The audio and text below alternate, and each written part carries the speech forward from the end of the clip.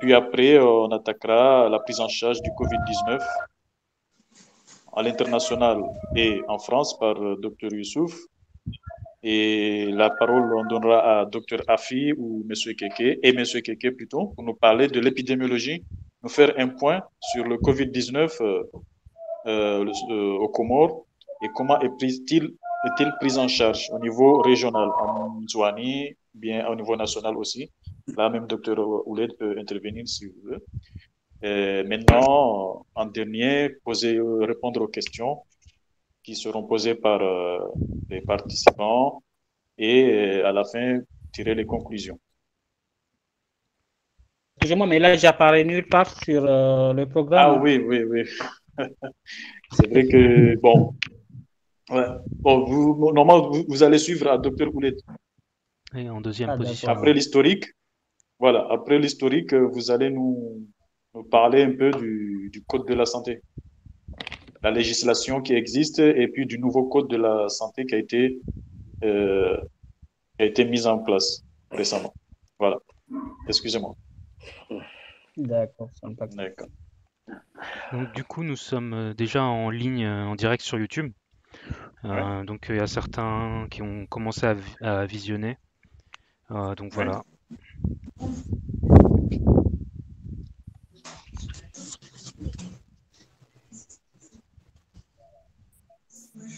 Donc, euh, je pense qu'on peut lancer ou. Oui, oui. Ça dépend de toi, Séni. non, c'est bon, on peut lancer, on peut lancer. La vidéo, tu as le document de Dr. Ouled? Non. Il est dans le groupe. Le PowerPoint de Dr. Ouled, tu l'as? Euh, Non, non, il se trouve dans le groupe, c'est ça euh, Oui, je l'avais partagé dans le groupe. D'accord, très bien. Sinon, Dr. Ouled, je ne sais pas s'il peut le partager tout de suite. Ok. via WhatsApp.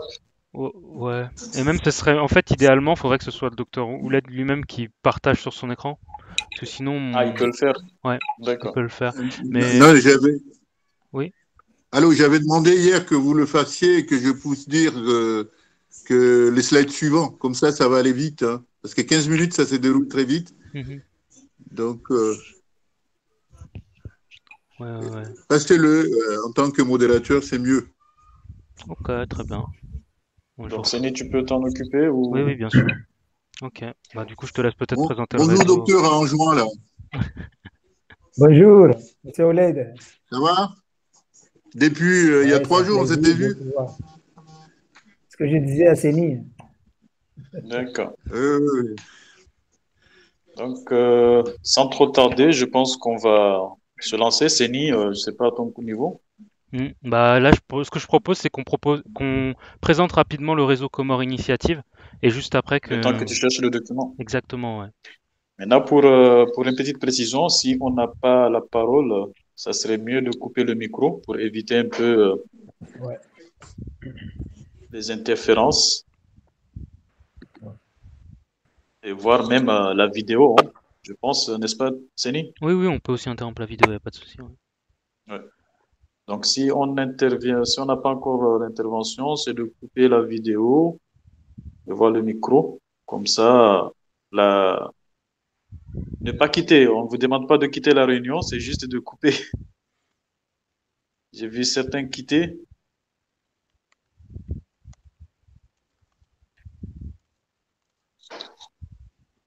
On n'a pas quitté, on a coupé les micros et le caméra. D'accord. OK. Bon, je vais essayer de me lancer rapidement. Daniel, euh, ça va? En fait, Daniel, il est en, train de donner un cours euh, et il pourra nous rejoindre dans une heure, mais il peut nous répondre dans le chat aussi. Ok. D'accord.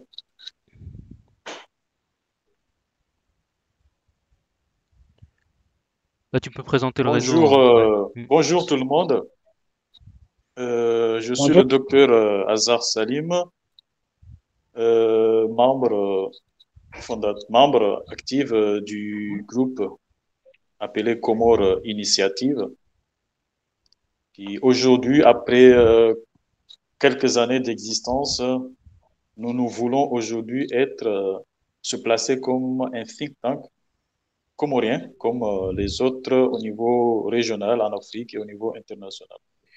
Le groupe euh, nous sommes là pour valoriser et promouvoir les initiatives positives au développement de notre pays.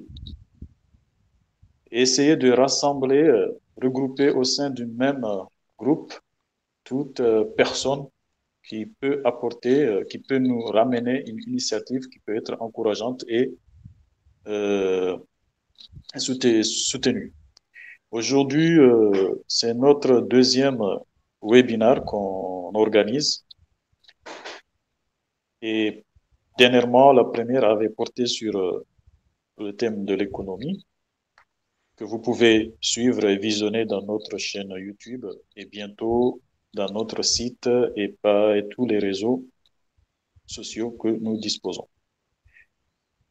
Le thème d'aujourd'hui, c'est vu. La webinaire d'aujourd'hui, c'est vu très important, vu euh, l'état sanitaire mondial.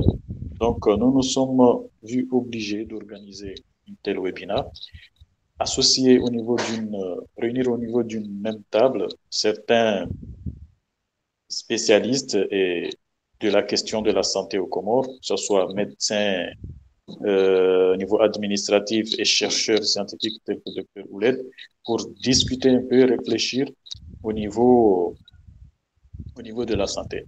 Et tel, un tel bilan ne peut pas se faire sans revoir un peu l'historique, faire le bilan de toutes les années passées, avant même l'indépendance et après les indépendances, jusqu'à nos jours, pour voir un peu ce qui a été fait.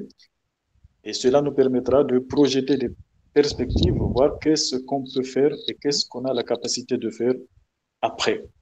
Tous les pays du monde, tous les systèmes de santé du pays du monde au niveau international, même des pays les plus riches, les pays les plus développés, ont été touchés par plein fouet par la crise sanitaire par cette pandémie du coronavirus qui a commencé en décembre 2019, euh, début euh, en Chine, dans la ville de Wuhan exactement, et qui en trois mois euh, s'est répandu au niveau, a été déclaré par l'OMS en tant que pandémie. Heureusement et malheureusement, on peut dire, on peut dire heureusement, notre pays fait partie des pays qui ont été touchés très tardivement, mais cela ne nous laisse pas raison, ne donne pas raison de laisser aller à la légère. Donc, euh, on peut dire que notre pays avait un petit peu le temps de se préparer à faire face à une telle situation. Comme euh, l'épidémie ou bien la pandémie de, du virus à Ebola qui avait frappé l'Afrique de l'Ouest en 2014, en commençant par la Guinée, euh, le problème qui a été souligné, c'est l'état des systèmes de santé euh, locaux, des services de santé locaux. Nous connaissons bien l'état de nos, structures de santé, de nos plateaux techniques. Donc, quel que soit le temps que nous avions à se préparer, nous avons quand même, euh, notre, notre système de santé a dû sentir un, un, un, coup. Donc, c'est pour ça qu'aujourd'hui, on va essayer de voir avec euh, les spécialistes de la question et qui sont membres même qui interviennent dans la riposte COVID-19 au Comores, voir un petit peu comment l'État, comment le système de, le système de santé se prépare, s'est préparé, comment il fait face et comment il prend en charge et qu'est-ce qu'il prévoit dans le futur pour faire face à de telles situations. Sans trop perdre, prendre, voilà, prendre trop la parole, on va commencer. Mais avant tout, c'était pour, c'était de dire aux participants à cette conférence que les questions peuvent les poser en commentaire sur notre page YouTube peuvent poser les, peuvent laisser leurs questions sur un commentaire. Nous tiendrons compte et nous le transmettrons aux intervenants pour apporter des éléments de réponse. Sans trop tarder, nous allons passer la parole à Dr Ahmed Boulet, un chercheur comorien, maître d'assistant euh, à l'Université des Comores, qui a été doyen, le premier, je pense, premier doyen de la faculté des sciences de l'Université des Comores. Euh, auteur de plusieurs travaux scientifiques sur euh, le système de santé comorien, sur les maladies parasites, sur les maladies infectieuses au Comores. Donc, nous avons tenu à prendre, à lui faire intervenir dans, cette, dans ce réseau pour, pour bénéficier de son expérience et de son savoir-faire dans son savoir scientifique. docteur Ouled, vous avez la parole pour nous présenter un peu l'historique du système de santé des Comores et quelles sont les perspectives. Pour rappel, le docteur Ouled aussi nous avait fait un entretien sur l'histoire de l'étudiant comorien en France et il est aussi, à part ses travaux scientifiques de parasitologie ou de maladies infectieuses, mais c'est un auteur de beaucoup de travaux d'histoire, qui c'est un des, pionniers de l'histoire, qui, tient l'histoire des Comores euh, actuellement. Histoire contemporaine, je peux dire. Merci, docteur Ouled, vous avez la parole. Merci beaucoup, euh, je vous remercie. Juste un petit rectificatif. Euh, J'étais le deuxième doyen donc de la faculté. Euh, donc, j'ai trois domaines d'expertise. Donc, j'ai la santé publique que j'ai fait à Paris, à Paris 6. J'ai fait l'environnement aussi, l'entomologie médicale, donc en Côte d'Ivoire, et la gestion de projet. Donc, c'est les trois éléments qui me permettent aujourd'hui d'essayer de partager un petit peu mon expérience. Et donc, je suis maître de conférence à l'Université des Comores. Alors, je vais rapidement, en quelques minutes, essayer de vous faire un panorama c'est-à-dire de partir un petit peu des origines de notre pays euh, à 2020. Euh, et donc, ça, ça va, pour certains, euh, ça va être un parcours assez rapide. Donc, comment le système de santé s'est bâti aux Comores? Donc, depuis le début du peuplement, pour certains, le peuplement des Comores ne date pas de, des invasions arabo-musulmanes, mais les études faites par Chami, donc euh, Ibouro Alitabib, qui est actuellement euh, président de l'Université des Comores, montraient qu'avant euh, l'ère, avant Jésus-Christ, il y a donc eu des habitants aux Comores. et cette période-là, on n'a pas beaucoup d'informations sur les problématiques de santé. Et donc, c'est surtout les récits de voyageurs portugais, hollandais, anglais et français, en quelque sorte que les Comores étaient un petit peu exemptes de maladies et ils pouvaient s'arrêter pour euh, se refaire une santé. Euh, quoique, à un certain moment, ils ont parlé qu'il y avait quelques fièvres intermittentes, justement au milieu du XVIIIe siècle.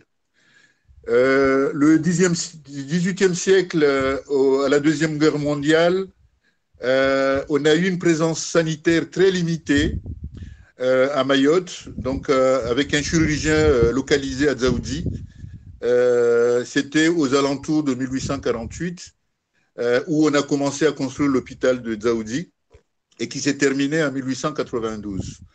Donc les activités hospitalières proprement dites s'étaient limitées aux soins des colons et des marins français qui s'arrêtaient au niveau de, des, îles Comores. si pour certains, ils ont suivi un peu l'histoire, quand M. Humblot le colon a été blessé euh, euh, dans sa, cette terre de Nubadjou. C'était le médecin qui est venu d'Anjouan et qui est venu le soigner à l'époque.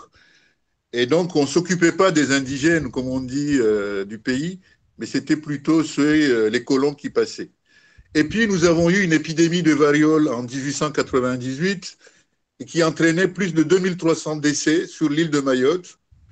Et à partir de ce moment-là, on a commencé des vaccinations antivarioliques dans les régions euh, jusqu'aux années 1905. Euh, et c'est là qu'on a commencé à mettre en place les services de grandes endémies que vous avez entendus. Et, dès 1912, après le rattachement des Comores à Madagascar, on a mis en place ce qu'on appelle l'assistance médicale malgache. Euh, ce sont des médecins de la marine française associés à des médecins malgaches et quelques infirmiers comoriens qui, qui étaient formés à l'école de Tananarive, qui assuraient les soins au niveau de l'archipel. Et puis, on a eu ce qu'on a appelé euh, la grande épidémie de paludisme de la Grande Comore, qui était concomitante euh, avec euh, la grippe espagnole, que vous avez entendu un petit peu aussi, et qui entraînait plus de 900 décès à la Grande Comore, puisque c'était la période où le paludisme s'installait à la Grande Comore. Je ne veux pas raconter l'histoire parce que j'ai pas beaucoup de temps, mais c'est que les grands Comoriens, ou même les Comoriens en général, allaient à Zanzibar pour chercher l'instruction et les commerces.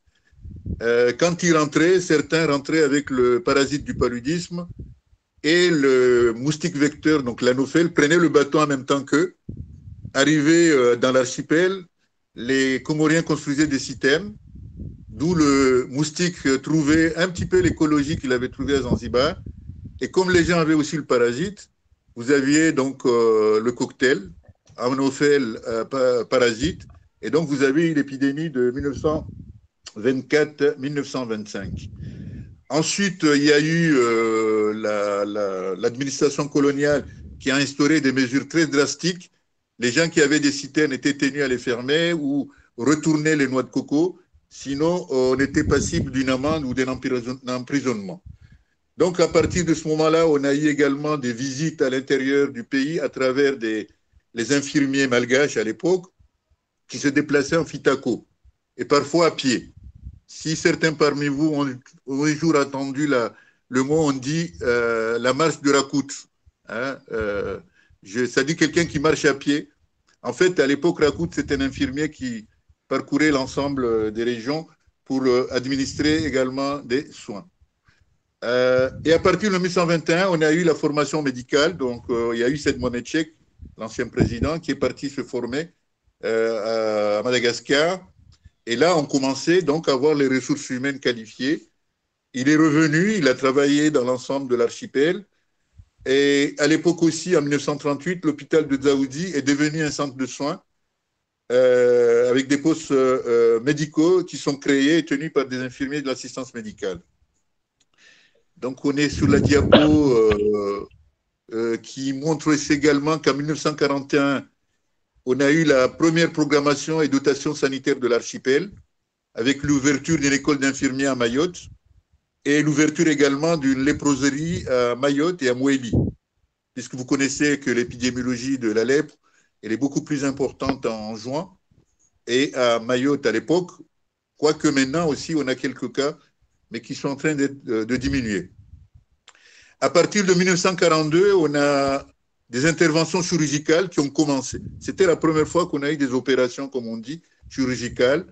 Les premières radiographies qui ont été mises en place et les examens biologiques, toujours par les services de santé, mais cette fois-ci des troupes anglaises installées à Mayotte puisque pendant la guerre, les troupes anglaises étaient installées à Mayotte pour lutter contre l'installation allemande en Tanzanie et euh, dans quelques îles au niveau de la région. Donc on arrive un petit peu à la diapo qui parle de 1946 à l'indépendance. Là, les Comores sont détachés après la Deuxième Guerre mondiale pour devenir donc euh, l'archipel des Comores, parce qu'à l'époque, c'était Madagascar et dépendance. Et euh, après la guerre, donc euh, l'administration coloniale a, donné un statut, un statut d'autonomie de gestion à l'archipel. Et euh, à l'époque, on s'appelait territoire des Comores.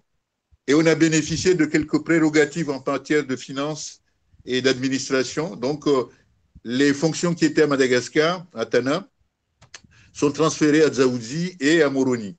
Et donc, l'hôpital de Dzaoudzi est devenu l'hôpital de référence qui, à partir de 1950, on a commencé à, construire l'hôpital de Moroni, qui s'appelait à l'époque euh, l'hôpital Georges Boussonneau. Boussonneau était un médecin colonial et qui était conseiller de l'Union française et qui était représentant des Comores, donc auprès de l'Union française, de 1947 à 1953.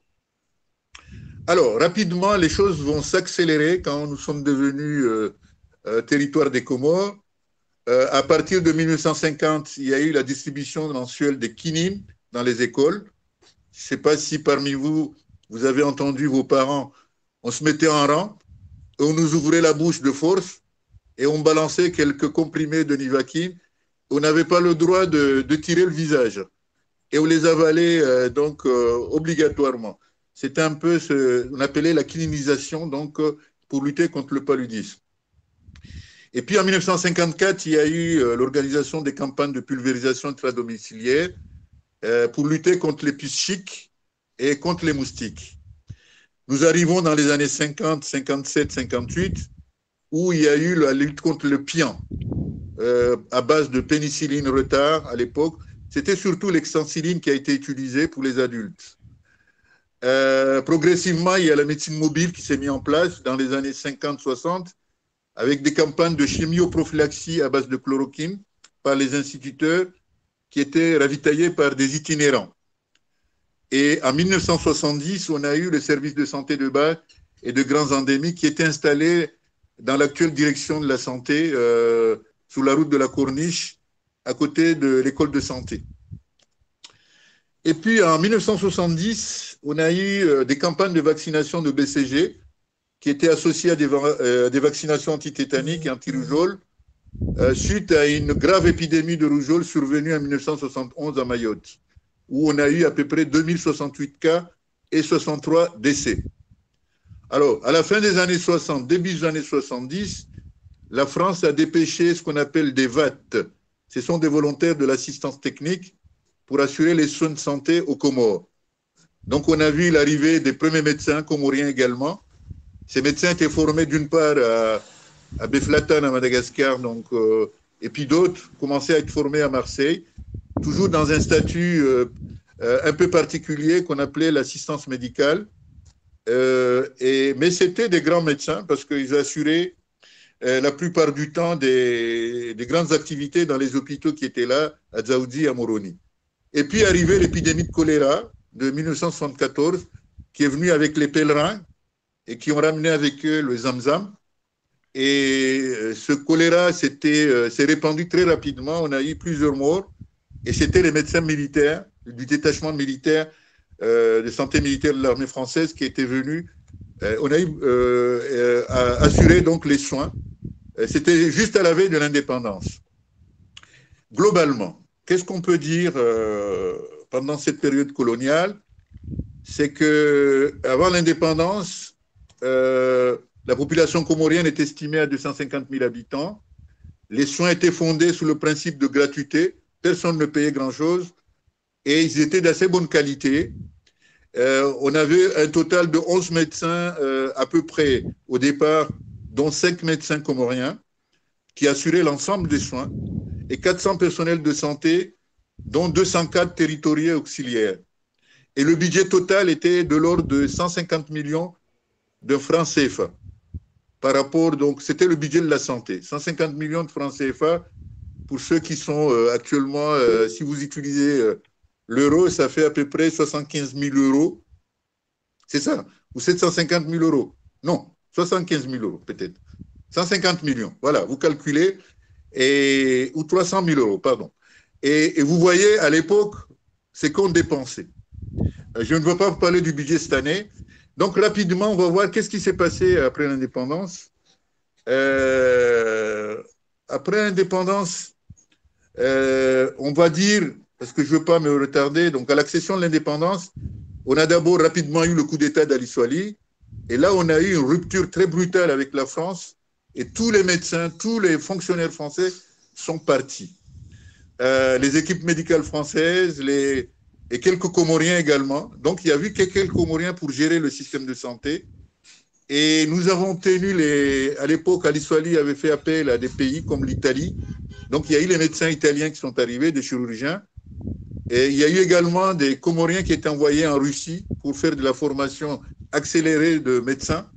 Mais en réalité, c'était des personnels médicaux qui, étaient formés, euh, des assistants médicaux, mais ce n'étaient pas des vrais médecins. Mais n'empêche que pour la Révolution étaient considérés comme des médecins. Et le, tableau clinique, en fait, le tableau épidémiologique est dominé par les parasitoses intestinales, le paludisme, la lèpre, la tuberculose, les gonocoxies et autres maladies vénériennes, autant d'Aliswali. Et le nombre total d'élits était de l'ordre de 410 euh, pour l'ensemble, donc dont 230 à El Marouf et 130 à l'hôpital de Hombo et 50 à l'hôpital de Fomboni.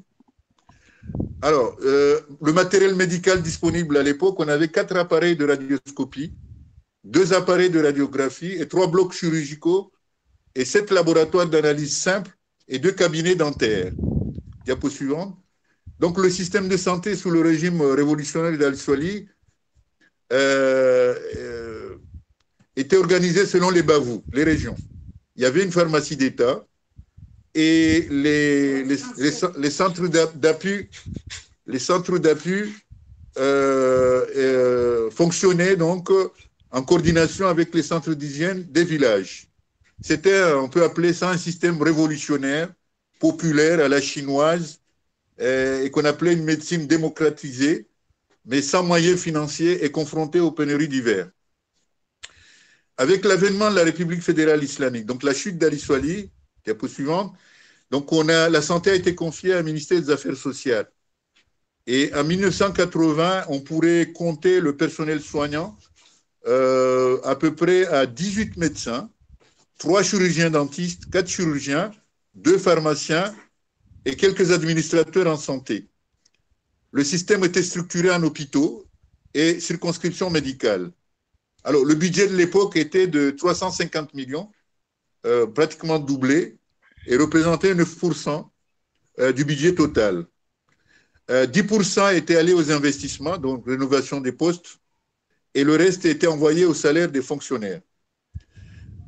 diapo suivante. Donc, on avait 10 districts sanitaires créés, avec chacun un centre de santé, hospitalisation, et chaque centre disposait d'une équipe mobile pour le programme élargi de vaccination, la planification familiale et la lutte contre les maladies transmissibles. Diapo suivant. Avec l'avènement donc euh, de la démocratie et l'affaiblissement du rôle de l'État, donc à l'arrivée de Jouar, donc il y a eu le programme d'ajustement en 91 et euh, là euh, des coupes sombres ont, eu lieu et il y a eu l'instauration des mécanismes de prise en charge des ménages nécessiteux on a instauré ce qu'on appelle le recouvrement de coûts. C'est-à-dire on a commencé à faire payer les gens dans les hôpitaux 100 euh, francs, 200 francs comoriens. Euh, donc on sort de la gratuité pour demander aux gens de payer quelque chose. Diapo suivante.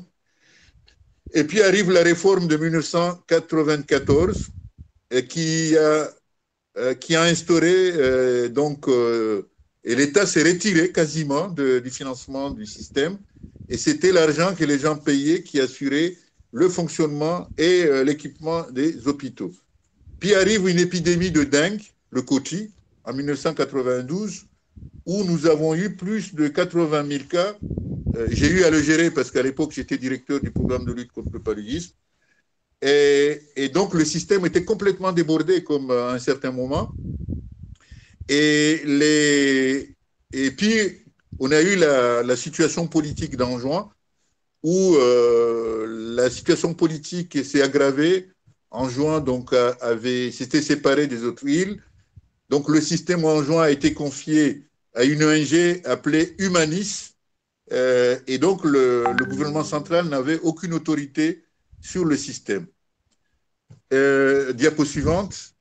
là, à partir de cette époque, on a eu plusieurs documents qui ont été élaborés, la stratégie de réduction, de croissance et de réduction de la pauvreté, la politique nationale de santé, le plan de développement sanitaire, le code de la santé, le premier code de la santé, etc., etc. Euh, et donc, on est arrivé à une programmation, à une planification du système de santé. Diapo suivante, je ne veux pas commenter le tableau puisque mes collègues euh, euh, vont intervenir, mais c'est la répartition de la couverture géographique du système, avec le nombre de, centres hospitaliers, le nombre de. Euh, etc. Et puis vous avez les effectifs euh, actuels en 2017, et puis la répartition du personnel. Mais encore une fois, comme je, je dois aller un peu plus vite, on peut en parler dans la discussion. Et puis voilà, j'arrive aux principaux problèmes du secteur de la santé qu'on a pu identifier. Le premier problème, ce sont les problèmes de santé publique. C'est qu'actuellement, on a un tableau épidémiologique euh, en transition passant des maladies transmissibles aux maladies non transmissibles. Je m'explique. On n'a plus ces maladies comme euh, le paludisme euh, en intensité, les diarrhées, etc. Mais depuis une dizaine d'années, on a constaté le développement donc, de l'hypertension, du diabète, des cancers, etc et avec une réduction du paludisme et de la filariose. Les enquêtes que nous avons menées en 2004, je crois, non, en 2012, je crois, on a montré que nous avons, en termes d'hypertension, en hypertendu, 25% de la population à l'époque. Les diabétiques étaient de l'ordre de 5%, l'hypercholestérémie à 25% et l'obésité avoisinée surtout pour les femmes à 22%. Et donc, comme vous voyez, pour ceux qui sont en Europe, euh, nous sommes en transition et on a beaucoup plus de maladies euh, du nord d'Europe que de maladies de pays euh, pauvres. Le problème également que nous connaissons, le problème de gouvernance et du leadership, il y a beaucoup de centres de prise de décision au niveau du pays, entre l'Union, les îles, les régions. Et on a également un problème de gestion des structures sanitaires qui sont peu fonctionnelles. Les conseils d'administration, généralement, ne fonctionnent pas, à part quelques structures. On a un troisième problème qui a pu être constaté, la gestion des soins et des services de santé. Euh, le nombre de médecins a augmenté, d'infirmiers, de sages-femmes par rapport à la période coloniale, mais paradoxalement, on a une faible qualité des soins et des services offerts dans la prise en charge des patients. Et, là, on a un développement anarchique du secteur médical privé avec des soins qui sont relativement médiocres. Euh, euh, les derniers problèmes que je pourrais évoquer, donc diapo suivante, c'est les problèmes de ressources humaines. Euh, on a l'absence d'une structure nationale chargée de contrôler et de gérer les diplômes étrangers et locaux, l'absence de mécanismes d'évaluation et de notation du personnel de santé. On a un gros problème de collecte et de gestion des données, avec d'énormes problèmes de disponibilité de données statistiques fiables. Et enfin, on a une insuffisance de données sur les maladies non transmissibles euh, tels que les maladies cardiovasculaires et les cancers. Euh, les autres problèmes que je vais citer rapidement, il y a des problèmes d'infrastructure, d'équipement. Euh, actuellement, il y a beaucoup d'initiatives communautaires incontrôlées. tous les villages et toutes les localités veulent avoir leur structure de santé. la plupart ne sont pas conformes aux normes de sécurité. Et puis le problème du financement du système, le gros de financement vient de l'extérieur. Et euh, voilà, on peut dire que il n'y a pas de médecine préventive. Euh, l'offre de soins est mal organisée euh, et on a un système tributaire des appuis extérieurs. Et enfin, les grands projets qui sont envisagés actuellement, il y a l'hôpital de la construction du CHU de, de Moroni pour réduire les évacuations sanitaires de plus en plus importantes et qu'on en viendra. Il y a la mise en norme des hôpitaux régionaux avec les CHRI de, de, de Homo et de Fomboni. Il y a le programme de couverture médicale généralisée qui va se mettre en place et le programme de renforcement des compétences et des spécialités médicales. Et enfin, on a le développement d'une industrie pharmaceutique et de pharmacopée qui est en cours. Euh, je peux dire que voilà rapidement brossé le tableau de la situation du service de santé des Comores. Je vous remercie. Merci, euh, docteur euh, Ouled, de ta brillante euh, intervention et partage votre expérience avec nous. si je peux retenir un tout petit peu après le rappel historique que vous nous avez fait euh, depuis euh, avant, avant même la colonisation jusqu'à la colonisation et euh, les indépendances et différentes étapes de, du système de santé, les crises que nous avons tous eues. vous avez soulevé aussi certains problèmes qui se posent, tels que le développement des systèmes euh, de développement médical privé qui malheureusement ne répondent pas aux attentes attendues car malheureusement même dans ces systèmes, dans ces centres de santé privés, euh, la qualité des soins n'est pas du tout ne, pas malheureusement de très bonne qualité comme on l'attendait. Il y a aussi un problème de reconnaissance. Euh, L'État ne met pas en place un système, un organisme, un organe pour, la reconnaissance des différents diplômes, sachant que jusqu'à maintenant, euh, nous ne possédons pas une faculté de médecine, mais tous euh, nos médecins, on est tous formés à l'étranger.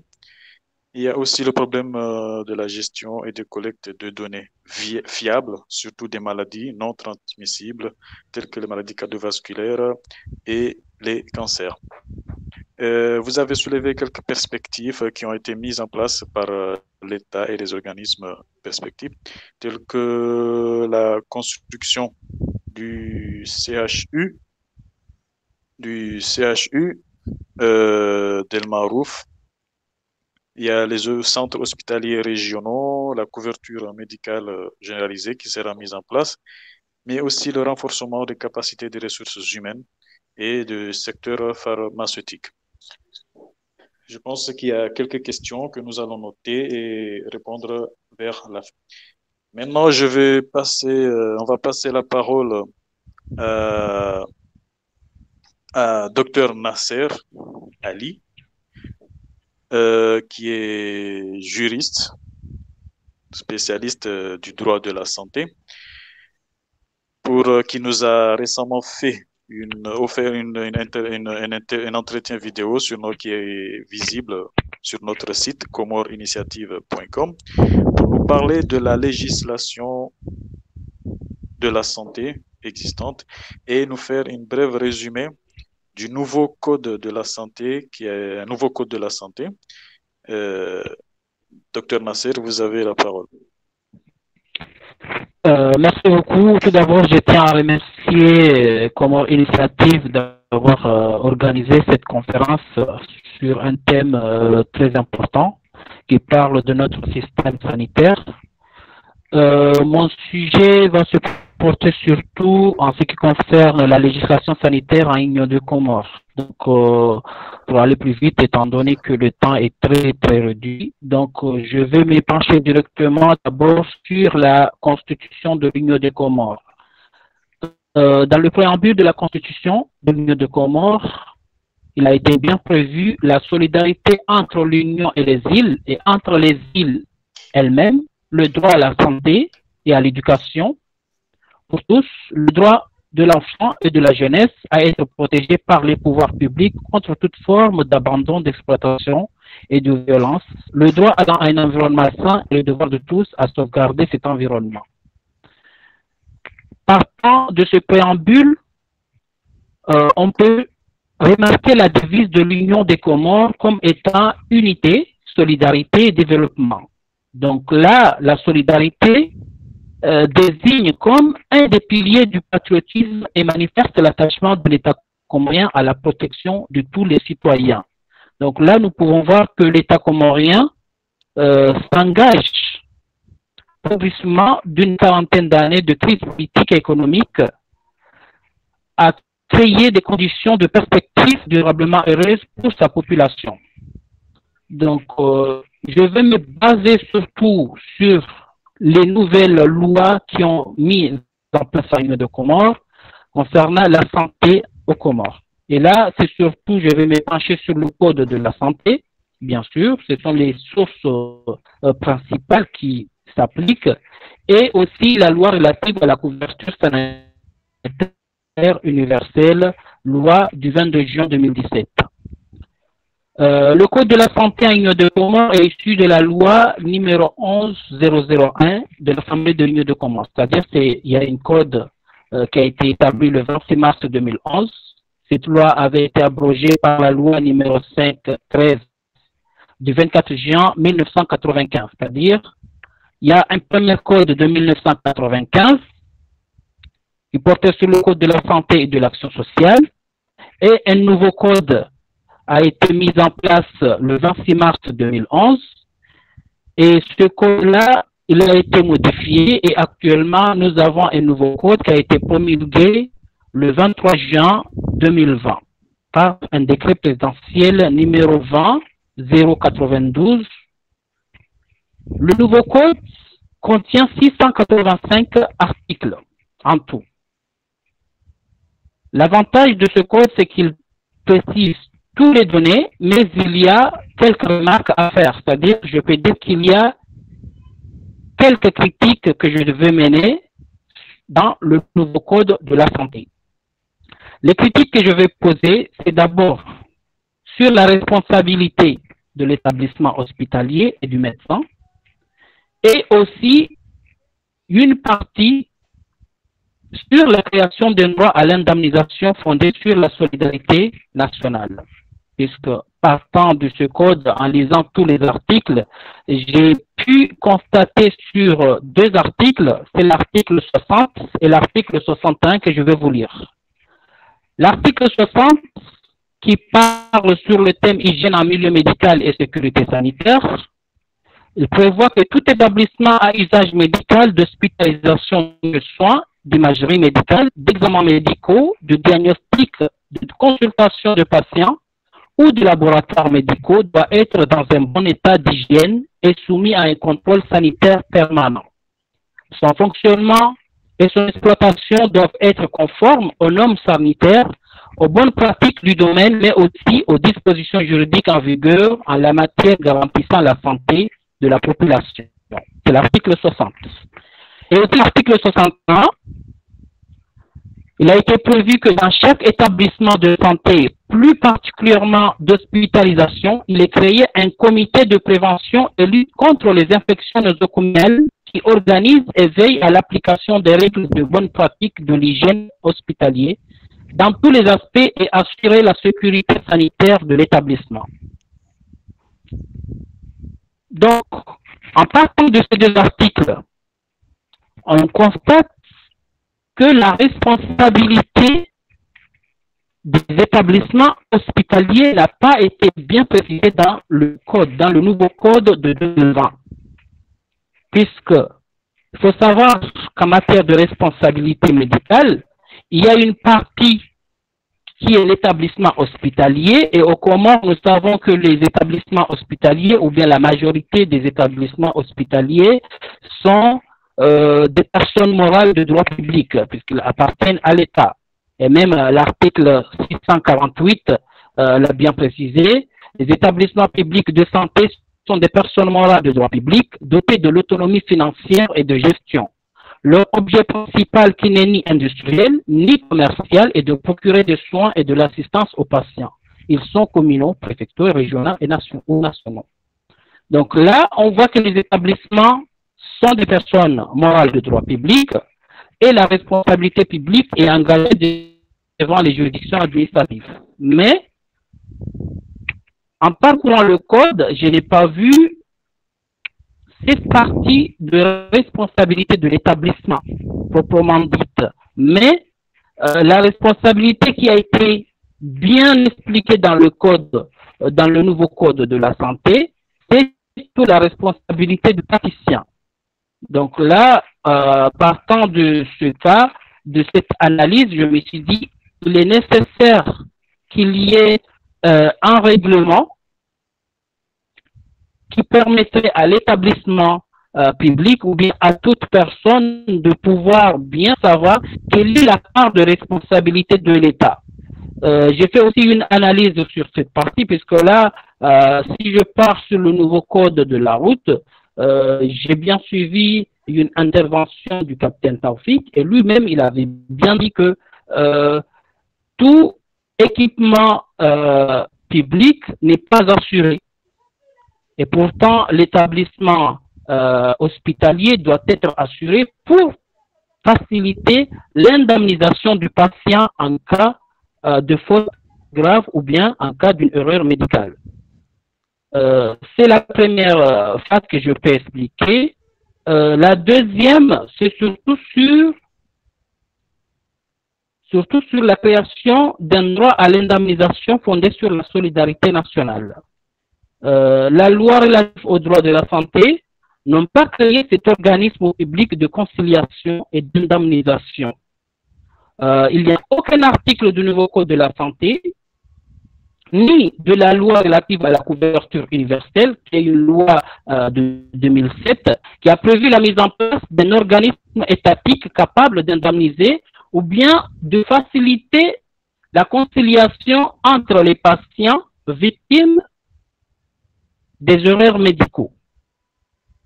Créer un droit à indemnisation automatique est sans doute l'innovation majeure qui devait avoir lieu euh, en 2020, puisque le gouvernement de l'Union de Comores a un objectif d'ici 2030. Euh, L'objectif du gouvernement de l'Union de Comores, c'est d'attendre à ce que toute la population comorienne puisse acquérir une protection sanitaire via la sécurité sociale universelle et l'aide médicale généralisée. Donc, si nous référons sur ces deux expressions, on pourrait dire que le nouveau code de la santé publique qui a été mis en place a des défauts majeurs. Ces défauts, c'est le fait que tout a été bien prévu, Mais concernant la responsabilité des établissements hospitaliers, n'a pas été bien précisé. L'organisme qui facilitera l'indemnisation ou bien la conciliation entre les patients euh, victimes et l'établissement hospitalier responsable n'a pas été prévu dans le nouveau code de la santé publique. Euh, je ne vais pas, puisqu'on avait dit qu'on a 10 minutes, euh, il y a d'autres sources qui sont prévues, mais je pense que le professeur euh, l'a déjà, déjà prévu, c'est surtout sur les orientations nationales de la politique de santé. Euh, il y a surtout le document de politique nationale de la santé de 2015 à 2024 et le plan national de développement de santé de 2015 à 2019. Tous ces documents qui, sont, qui ont été adoptés en 2014 sont actuellement en cours de mise en œuvre et de mise en application. Euh, je vais m'arrêter là et on verra concernant les questions s'il y a d'autres informations à donner, mais il faut surtout euh, je vais résumer sur le nouveau code de la santé les défauts majeurs qui ont été posés. C'est surtout sur la responsabilité de l'établissement hospitalier et aussi sur les facteurs d'organisation du patient. Merci beaucoup. Hazard, vous avez la parole, s'il vous plaît. Merci euh, beaucoup, docteur euh, Nasser Ali, de votre euh, brillante intervention. Vous avez fait le tour et souligné les, quelques couacs qui existent dans le nouveau code de la santé, nouveau rémission. Donc, si on comprend bien le reste et applaudissent, on peut l'applaudir. J'ai une question sur ce code, mais dans un autre domaine que vous l'avez pas évoqué, on reviendra. Euh, vous avez souligné les deux problèmes qui manquent. C'était très important et certes, c'est effectivement, en tant que moi, personnellement, en tant que de médecin du travail, l'hygiène hospitalière euh, permet non seulement de, de, de, de, de, de de donner, d'offrir des, des, des, soins de bonne qualité, mais aussi la sécurité du personnel euh, médical. Donc, euh, certes, l'État a souligné, a insisté sur l'hygiène hospitalière, mais comme vous l'avez souligné, il n'y a pas sa responsabilité dans cela. Et cela aussi revient au, ce que parmi les problèmes que le docteur Ouled a souligné concernant les hôpitaux privés. Et puis, euh, il y a le manque de loi concernant les indemnisations en cas de faute ou bien en cas d'erreur médicale. Euh, en poursuivant, si j'ai bien compris, nous allons, si nous allons passer là, nous devons, nous devrions passer la parole à Monsieur Rachad Keke qui est à la direction régionale de santé de Mali, mais malheureusement, nous n'est pas avec nous. Donc, euh, on va passer la parole au docteur Hafi, qui est à la direction régionale de Nzouani, euh, qui, que, qui nous remercions beaucoup car euh, nous l'avons, il, a intervenu, ça fait deux ou trois jours que nous l'avons contacté pour prendre euh, part à cette, euh, conférence et qu'il a directement accepté. Et nous excusons aussi que, vu le manque de temps, nous n'avions pas pu modifier, euh, ajouter son nom et sa photo sur l'affiche. Euh, le docteur Afi remplace le docteur Shahassou, un collègue qui neurologue qui a en juin. Donc euh, le docteur Afi va se présenter et va nous parler du système de santé à, à Mzouani, comment l'État, comment les hôpitaux, la santé organisée en Mzouani, parce qu'il maîtrise très bien, et puis nous parler un tout petit peu voilà, euh, après on reviendra sur lui pour nous parler, du, parler d'autres sujets. Docteur Afi, vous avez la parole. Euh, merci beaucoup. Euh, bonjour à tout le monde. D'abord, je tiens à remercier également le groupe de m'avoir accepté pour présenter ce thème qui consiste à montrer le système de santé au niveau d'Anjouan. je pense que le docteur Ouleid a fait le tour il reste que actuellement, il faudra montrer maintenant comment nous avons comme étant hôpital sanitaire. tout d'abord, comme il a montré que après les, les, les activités d'enjoint pour le séparatisme, donc, on avait des difficultés euh, pour maîtriser le système de santé. Effectivement, des ONG ont été venues, comme il l'a bien présenté, l'ONG humaniste, pour appuyer le système de santé euh, au niveau d'Anjouan. Et en vous montrant la cartographie au niveau d'Anjouan, même si la carte sanitaire aussi, euh, le docteur Ouledi ne l'a pas parlé, la carte sanitaire de notre pays n'est pas encore actualisée. Euh, mais ce que je peux, dire, c'est que au niveau d'Anjouan, nous avons euh, sept districts sanitaires et euh, selon la région, par exemple, au niveau de le, district sanitaire de, de Mremani, nous avons sept postes de santé.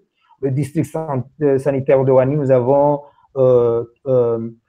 deux postes de santé. Au niveau de Pomoni, nous avons euh, trois postes de santé. Au niveau de Domoni, cinq postes de santé. Et Moutsamoudou en a deux postes de santé. Tsembéou, il en a un euh, poste de santé. Et nous avons aussi au niveau d'Anjouan, euh, à l'arrivée de l'hôpital comoro-chinoise qu'on appelle HACC, deux hôpitaux de référence, donc l'hôpital comoro-chinoise de Bamba Omtsanga et l'hôpital de référence de Hombo qui a été cité avec le docteur Ouleidi nous avons aussi euh, euh, la santé militaire qui est aussi, qui a aussi, euh, on le considère comme étant un poste de santé. effectivement, ça a été dit aussi par l'historique que actuellement il y a un pléthore de techniciens de santé au niveau du, au niveau du pays. Il y a effectivement pas mal de spécialistes dans le pays, au niveau d'Anjouan surtout. Il y, a, il, y a, il y a des spécialités au niveau euh, des spécialistes en chirurgie générale, en gynécologie, on en a trois. On en a un anesthésiste réanimateur, on en a euh, deux pédiatres, on a des urgentistes, un cardiologue, un ophtalmologue, deux ORL. Euh, il y a aussi un biologiste, dermatologue, neurologue, comme il a été dit, docteur Chaz, un traumatologue. Euh, et, on continue aussi à avoir beaucoup de, jeunes médecins généralistes qui se forment dans les pays, surtout dans les pays africains, il y a, au niveau du Bénin, au niveau du Sénégal. Au niveau d'Anjouan aussi, il y a maintenant pas mal de médecins de santé publique, euh, même si certains de ces médecins de santé publique se trouvent au niveau national. Mais au niveau euh, de l'île, euh, il y a moi-même qui est au médecin de santé publique, il y a un autre qui travaille au niveau de la direction générale de la santé et un médecin qui est chargé au niveau de gestion risque et catastrophe et le cardiologue aussi qui est en, formation pour euh, cette formation de santé publique. Donc, euh, on voit que au fur et à mesure, les, euh, les techniciens arrivent beaucoup plus pour pouvoir mettre en place un système de santé efficace qui peut répondre à toutes les urgences sanitaires. Ce que je peux, rajouter dans le système de santé au niveau d'Anjouan, c'était dit aussi par le docteur Ouled, c'est que Actuellement, depuis la mise en œuvre de la nouvelle constitution du pays au cours du mois de, juin 2019, on avait euh, euh, les commissariats à la santé qui, étaient les institutions régionales qui appuyaient les directions régionales de la santé, mais actuellement, euh, les activités du système de santé sont reliées directement du ministère de la Santé vers euh, les directions régionales en collaboration avec aussi effectivement des, des gouverneurs. Euh, ce système n'est pas aussi facile, comme ça a été dit, euh, comme les données au niveau ressources humaines n'est pas encore totalement fiable, il faudra pousser et ce qui est en cours de travail maintenant. Ce rajouter, je peux rajouter aussi dans le système de santé, comme en à Moëli à la Grande Comore, normalement les médecins qui devraient être médecins du district devaient être des médecins de santé publique. Et comme on n'en a pas beaucoup, euh, la plupart de ces médecins sont des médecins généralistes. Euh, euh la plupart n'ont pas beaucoup d'années. Donc, il faudra avoir beaucoup de formation pour qu'ils puissent être vraiment des managers pour leur district sanitaire. Dans notre système de santé, ce n'est pas tout simplement en juin, mais nous avons aussi des agents de surveillance dans les districts sanitaires, qui sont les majors, les majors de service, jouent un grand rôle dans le système de santé au niveau d'Anjouan et je pense aussi qu'au niveau aussi de euh, la, euh, en, Grande Comore et au niveau de Moélie. En, général, euh, le système de santé est le réparti par les districts sanitaires, les postes de santé et les deux grands hôpitaux que nous avons ici en juin, euh, hôpital de Bambao et aussi le CHRI. Et pour terminer, euh, le CHRI, euh, effectivement, avait beaucoup de lits, comme c'était dit avec le docteur Uleid, mais le CHRI a été réduit à cause d'une construction qui a été débutée vers l'année 2012 et c'était arrêté. Donc, il y a une partie qui fonctionne qu'il faudra renforcer et améliorer et pouvoir surtout euh, rentabiliser les services qui sont euh, sur place. Et au niveau de l'hôpital de Bambao, nous comptons que la reprise sera faite puisque nous avons pris ce, site de Bambao comme étant un site principal de prise en charge de COVID-19.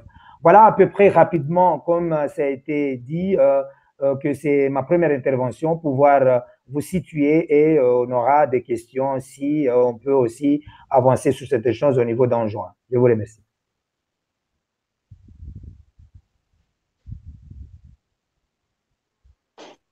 Euh, merci beaucoup, docteur Hafi. maintenant, nous allons passer la parole à tous les intervenants, docteur Hafi, docteur Youssouf, docteur Ouled, euh, même Nasser, si vous avez de quoi intervenir. Nous allons parler, euh, est-ce que, la question est que nous, avons voulu savoir un petit peu, moi-même en tant que médecin euh, comorien, mais qui n'a pas encore eu une grande expérience au niveau du pays. Je me rappelle avoir euh, exercé pendant un mois au niveau du centre de santé Sœur Colette, la mission catholique. Euh, nous, on savoir exactement, est-ce que le personnel médical, vous qui avez une grande expérience au niveau local, est-ce que le personnel médical a sa place dans le système de santé? Est-il consulté dans les décisions, dans les arbres décisionnels? Est-ce que le, il a le personnel, il a sa place qui le mérite?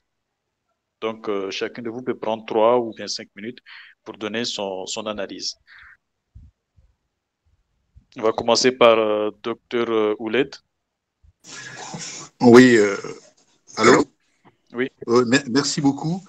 je crois que une des avancées de ce pays, c'est la formation. Le pays a formé beaucoup, beaucoup de ressources humaines, je dirais même qui pourraient peut-être constituer la base mais euh, le problème du, personnel, le problème du fonctionnement du système, euh, un peu ressemble au problème de la gestion générale du pays. C'est-à-dire que euh, la, hiérarchie, est, notamment, on va parler du milieu hospitalier, parce que le plus important. C'est-à-dire vous avez des très bons médecins qui arrivent, ou, même des spécialités qui arrivent, mais l'organisation même du système de soins à l'intérieur d'un hôpital laisse à désirer. C'est-à-dire qu'on a un système de 8 heures par jour, c'est-à-dire qu'on on rentre à 7h30 et on repart à 14h30. Mais vous avez un taux d'absentéisme extrêmement élevé.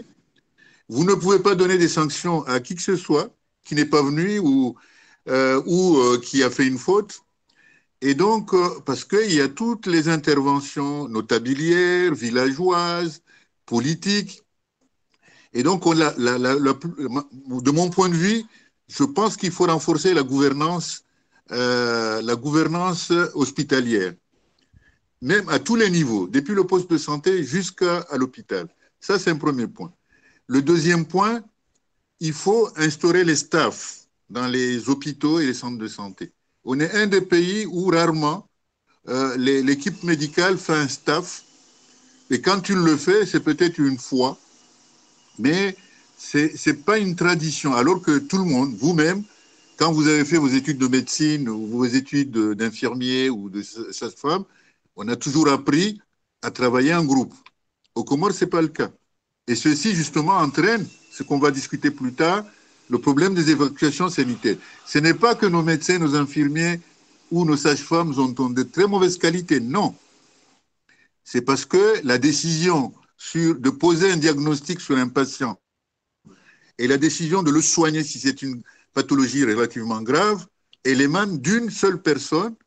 Et à ce moment-là, euh, les gens, euh, les gens euh, se méfient parfois et ils préfèrent aller ailleurs, en Tanzanie ou ailleurs, à Madagascar, parce que là, ils disent qu'on on est mieux soigné.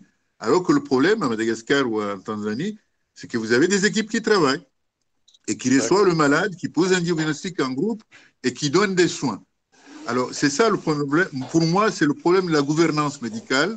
Enfin, la gouvernance d'abord sanitaire et puis le fonctionnement de, euh, du système à l'intérieur même des hôpitaux. Merci. D'accord. Merci beaucoup. Docteur Youssouf, euh, Mohamed Kassim, vous avez la parole dans cette euh, question.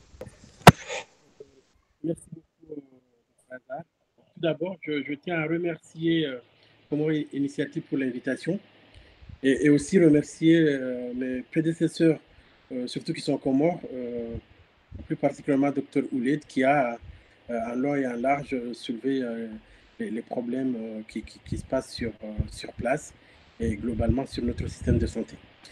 il y a une question qui, que je trouve beaucoup plus importante que le docteur Ouled l'a soulevée sur la reconnaissance des diplômes et bien sûr euh, euh, la légitimité et euh, la force de, de, l'ordre des médecins pour justement regarder un peu la qualité de, de, de, de, la prise en charge en se basant sur qui est médecin ou pas, parce que déjà, c'est une question que, que, que, nous devons se poser quand des fois on, on entend des histoires euh, qui, se sur, qui, qui, se passe sur place. Euh, moi, j'ai, euh, avant d'atterrir en France, j'ai travaillé plus de à peu près deux ans à l'hôpital de Mitsamioli, au centre hospitalier médico-chirurgical de Mitsamioli. les questions que, que j'ai pu me poser, qui m'a beaucoup plus frappé, il y a les staffs, docteur Ouled l'a dit, mais aussi euh, une histoire d'harmonisation de, de, la prise en charge euh, à l'échelle nationale par des protocoles de prise en charge. Euh, ça serait beaucoup plus important d'avoir de tels protocoles parce qu'on sait très bien que tous nos médecins n'ayant pas une faculté de médecine, tous nos médecins sont, formés à l'étranger. Et ils sont formés, quand on dit à l'étranger, c'est des écoles complètement différentes. Euh, le Maroc, euh, la France, la Chine, Madagascar, Soudan, Sénégal, pour ne citer que ces pays. Euh, il serait, ça m'a frappé aussi le fait de ne pas avoir une formation continue de ces personnels pour harmoniser un peu la prise en charge. et ceci ne peut être bénéfique que pour les patients. et je trouve que ce problème participe à la diminution de, de, de, de la qualité de, de, prise en charge des, patients. Et, voilà, ce que je voulais ajouter, euh, et, je suis convaincu que euh, euh, les problèmes, par exemple, docteur Roulet les, a cités, voire même des propositions, mais là, on, revient sur ce que sont les Comores, c'est qu'il y a un problème de gouvernance au, plus haut au sommet de l'État. Merci beaucoup. Merci beaucoup, euh, docteur Youssouf. Euh, docteur Afi, euh, vous avez la parole si vous voulez ajouter quelque chose sur la place du personnel médical dans le système de santé. Oui, effectivement, je pense que tout ce qui a été dit répond aux difficultés que nous rencontrons sur le terrain. Mais ce que je peux, je peux rajouter en rappelant que pour avoir un bon système de santé, pour que le personnel de la santé soit bien en place. Euh, il y a effectivement euh, la gouvernance, mais il faut aussi qu'on ait des infrastructures de qualité. Il faut qu'il y ait des infrastructures qui répondent aux normes et qui permettent aussi que le technicien qui est formé euh, dans les différents pays qui arrivent puisse avoir le matériel, l'équipement qu'il a eu là où il a été formé. Et je rajouterai aussi qu'il faudra aussi qu'on essaie de réglementer la question du public et du privé. Dans notre pays, tu peux être à l'hôpital, même si la question de salaire va s'imposer là-dedans, mais il faudra avoir des ressources humaines effectivement de qualité, mais qui sont stables soit dans le public, soit dans le privé, c'est-à-dire avoir leurs droits bien motivés et avec des infrastructures ainsi que de la bonne gouvernance parce que euh, ces choses-là doivent être ensemble. Ce n'est pas simplement la gouvernance, effectivement, oui, mais les ressources humaines de qualité, bien motivées, qu'ils trouvent leur place dans le public ou bien dans le privé. Voilà ce que je peux rajouter sur ce thème.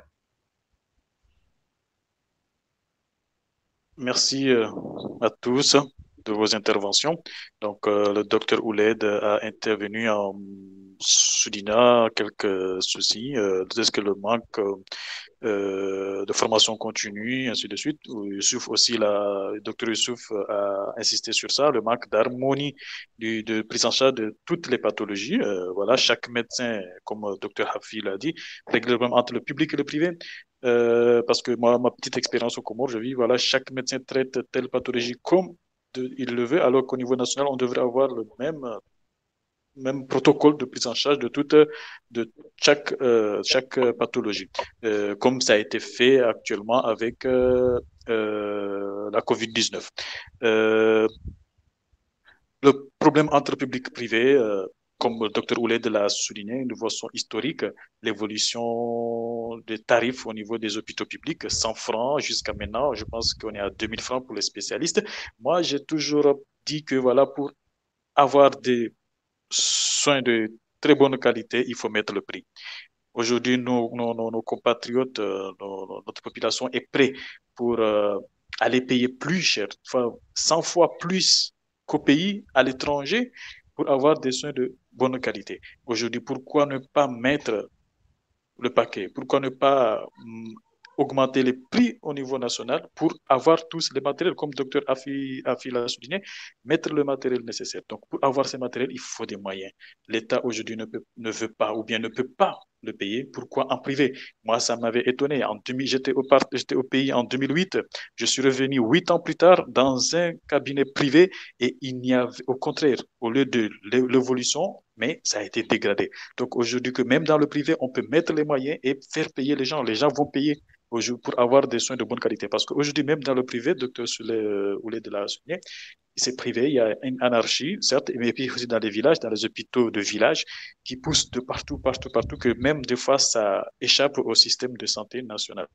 Donc, sans trop tarder, je vais passer la parole à docteur Youssouf Kassim, qui est médecin généraliste formé au Maroc, actuellement en France, qui est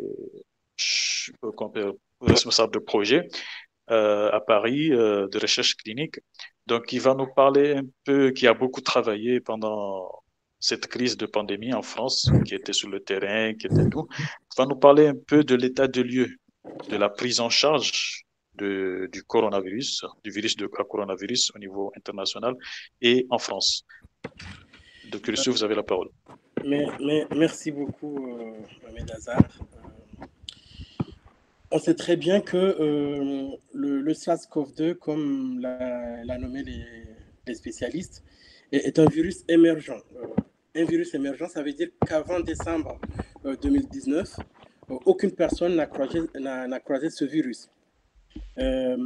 Après contamination, il faut savoir que 81% des cas des personnes contaminées font, une forme dite bénigne. Euh, ça veut dire que euh, soit ils sont un peu symptomatiques, soit ils ne sont même pas symptomatiques, mais ils continuent à propager euh, la maladie dans les 14 jours, voire même trois jours avant, sa avant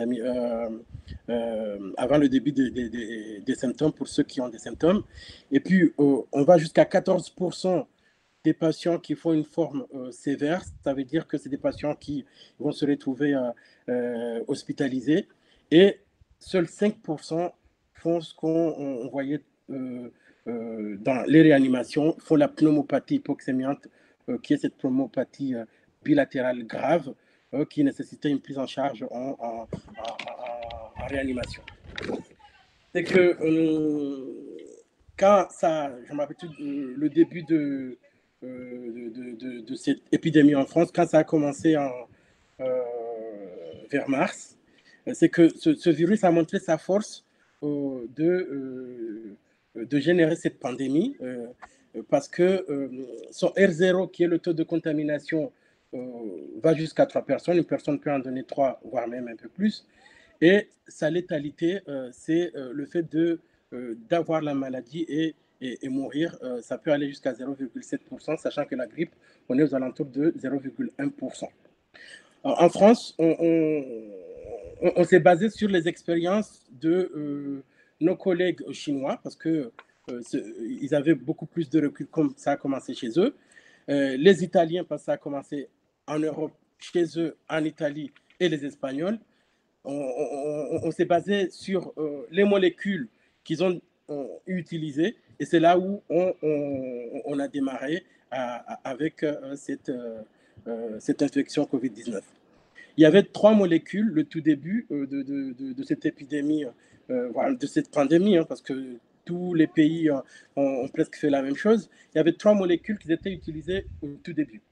Il y avait le remdesivir qui est un, un, inhibiteur de l'ARN euh, polymérase qui est utilisé dans euh, le traitement du virus Ebola.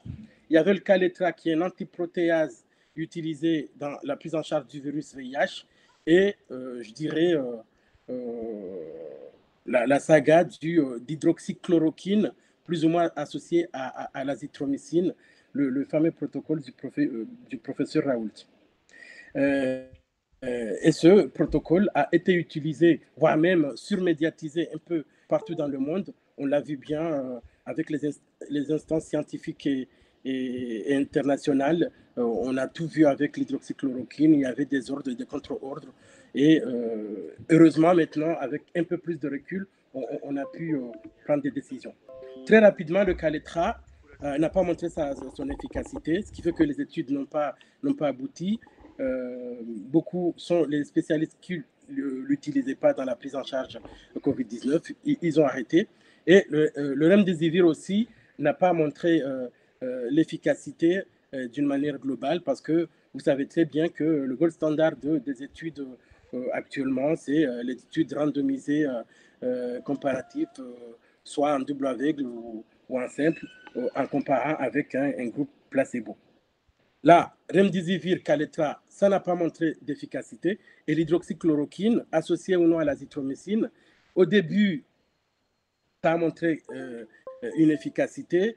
Et quelques euh, jours après, euh, il a fallu attendre les études d'une manière générale pour montrer aussi que en matière de, lutte contre le SARS-CoV-2 et de, prise en charge de cette infection, l'hydroxychloroquine, associée ou non à l'azithromycine, n'a pas donné euh, euh, une amélioration clinique de, cette prise en charge. Euh, cette molécule, j'ai dit que c'est une série parce que ça, il y a eu beaucoup d'épisodes. il y a eu des études aussi qui l'ont testé en prévention pour voir un peu parce que euh, vous vous rappelez très bien que le, protocole professeur Raoult montrait que ça cassait la charge virale du, SARS-CoV-2 et ça a amélioré les symptômes le plus vite possible. Ce qui fait que cette molécule a été utilisée en prévention et très rapidement euh, chez, les, personnels de santé, bien sûr, chez les soignants. Et très rapidement, on s'est rendu compte que même en prévention, en comparant à un groupe placebo, ça veut dire qu'un groupe qui n'a rien pris avec le groupe qui a pris l'hydroxychloroquine, il n'y avait pas euh, de, prévention, voire même le groupe hydroxychloroquine était contaminé par le SARS-CoV-2. Quelques mois après, on s'est rendu compte que cette infection euh, virale donnait des euh, pneumopathies bactériennes, comme toute infection pulmonaire. Il y avait une surinfection bactérienne. C'est pour cela que les antibiotiques aussi ont été utilisés dans, nos services de, prise en charge de cette épidémie. Euh, ça a montré euh, euh, des résultats chez les, patients hospitalisés, mais ce n'était pas suffisant pour lutter contre les, le nombre de décédés qui ne faisait qu'augmenter. comme tout virus émergent, il faut un peu de temps. quelques mois après, beaucoup de, chercheurs sont basés sur la, la, physiopathologie du virus et se sont rendus compte qu'il s'agit d'une maladie aussi inflammatoire euh, avec euh, la fameuse euh, largage cytokinique qui, qui donne un orage cytokinique qui emballe un peu les organes et qui donne cette défaillance multiviscérale qui peut être à l'origine du, du décès. C'est à partir de là que beaucoup de molécules qui ont, une efficacité anti-inflammatoire ont été utilisées. Je vais en citer euh, quelques molécules. L'anakinra, euh, qui est un, antagoniste du récepteur de l'interleukine 1, euh, a été utilisé. Et en comparant au protocole que je l'appelle entre guillemets le protocole Raoult, qui est le protocole hydroxychloroquine associé à l'azithromycine, l'anakinra a montré 25% de décès sur le bras anakinra versus 73% de décès sur le bras protocole Raoult euh, hydroxychloroquine associé à l'azithromycine.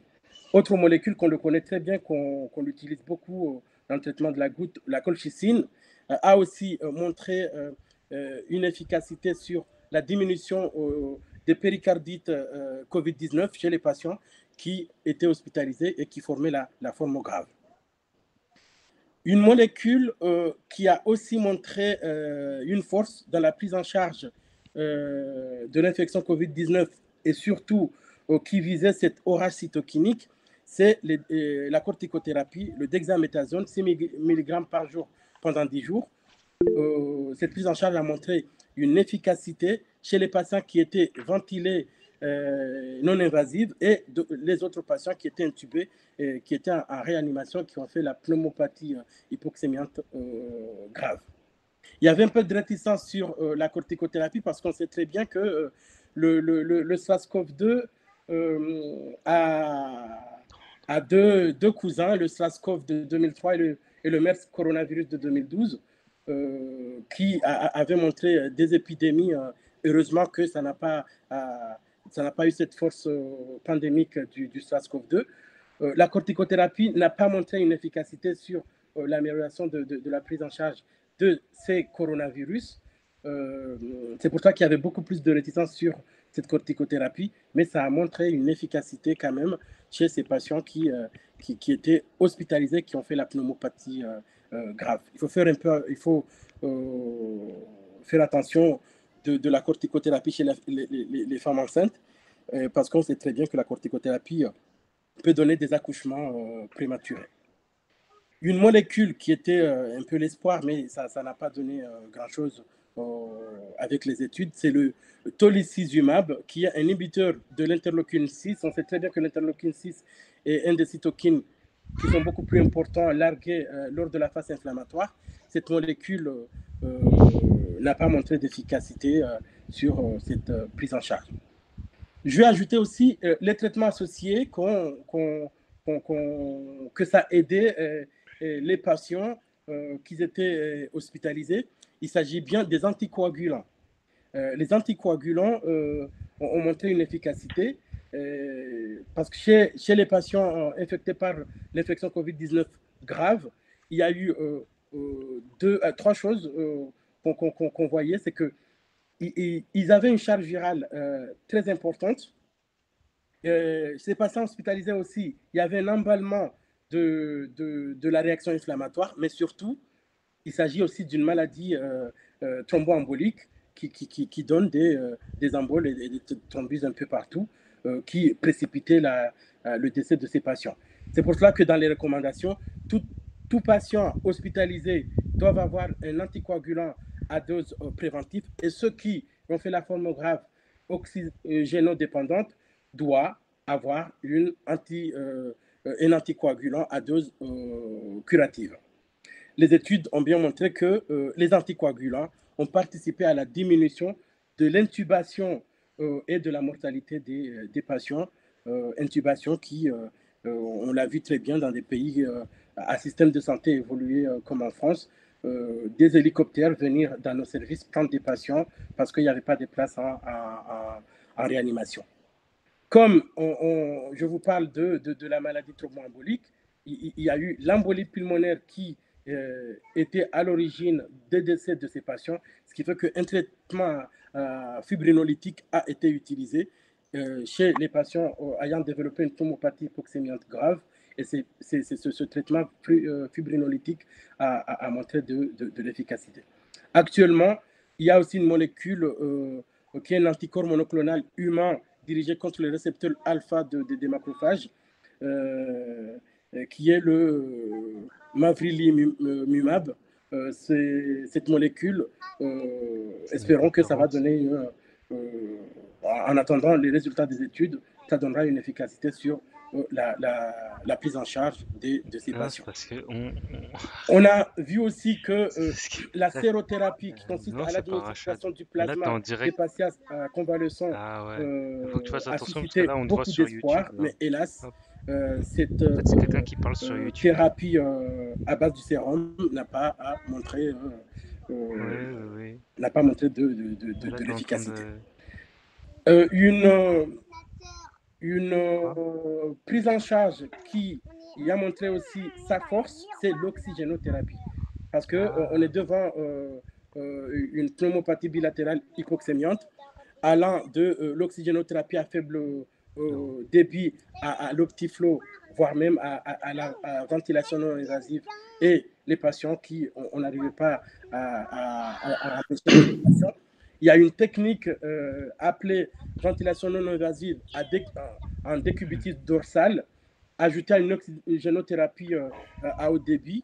Euh, cette technique a, permis d'éviter les intubations, ce qui est bien parce que ça a permis euh, d'éviter euh, des patients qu'on doit, euh, qui être admis en, réanimation. Parce qu'on a bien vu que chez les patients intubés hospitalisés en réanimation, plus de 50% des patients étaient décédés. Et cette technique de ventilation non invasive en décubitus ventral a permis de diminuer le pourcentage euh, euh, des décès. Ce qui, est, ce qui a permis de pallier euh, au manque de place en, réanimation?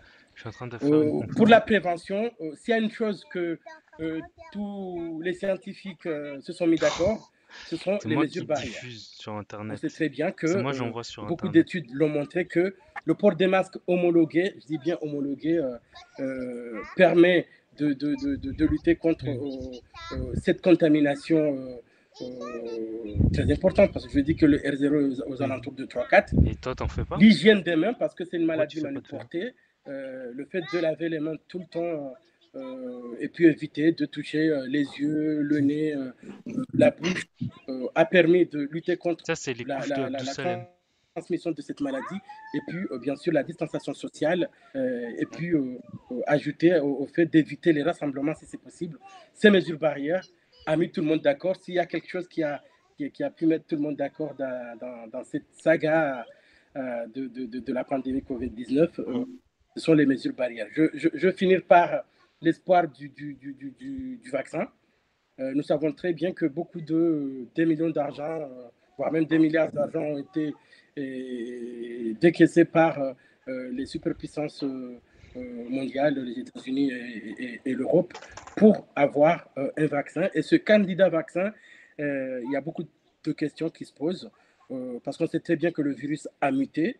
On sait très bien, est-ce que le, vaccin, avec cette mutation, sera efficace ou pas On se demande aussi, côté effet secondaire, parce qu'on on va beaucoup plus vite. C'est pour cela que beaucoup de laboratoires ont, fait signer à ces superpuissances mondial euh, des conventions pour que ces, pays puissent prendre en charge au cas où il y, aurait des éventuels euh, effets secondaires de, de, ce vaccin. Nous avons cette mauvaise nouvelle euh, de, des patients recontaminés. Il y a des patients qui ont fait l'infection Covid-19 et dans le cadre de et, qui sont guéris, hein, que dans, dans, le cadre de, de ce, ce, dépistage systématique des voyageurs, euh, le patient s'est trouvé à un aéroport pour faire euh, l'infection, euh, pour faire la PCR SARS-CoV-2 et la PCR. Deuxième infection, quoi. Voilà, et c'est une réinfection. La PCR Et les virologues ont séquencé les deux virus. Il s'agit bien évidemment de deux virus différents. Différents. C'est une mauvaise nouvelle parce qu'on voit très ah bien qu'on peut se réinfecter. Puis, il faut du temps. Euh, mais malheureusement, on sait très bien qu'il euh, n'y en a pas. Merci beaucoup. Merci. Merci beaucoup, euh, docteur Youssouf, de votre brillante intervention. Vous avez fait le tour de la prise en charge du Covid-19 au niveau international et en France, qu'il y aura des questions qui vont venir. Donc actuellement, pour aller un peu, comme le temps un peu nous écouter, docteur Afi, si vous êtes là, on va vous passer la parole.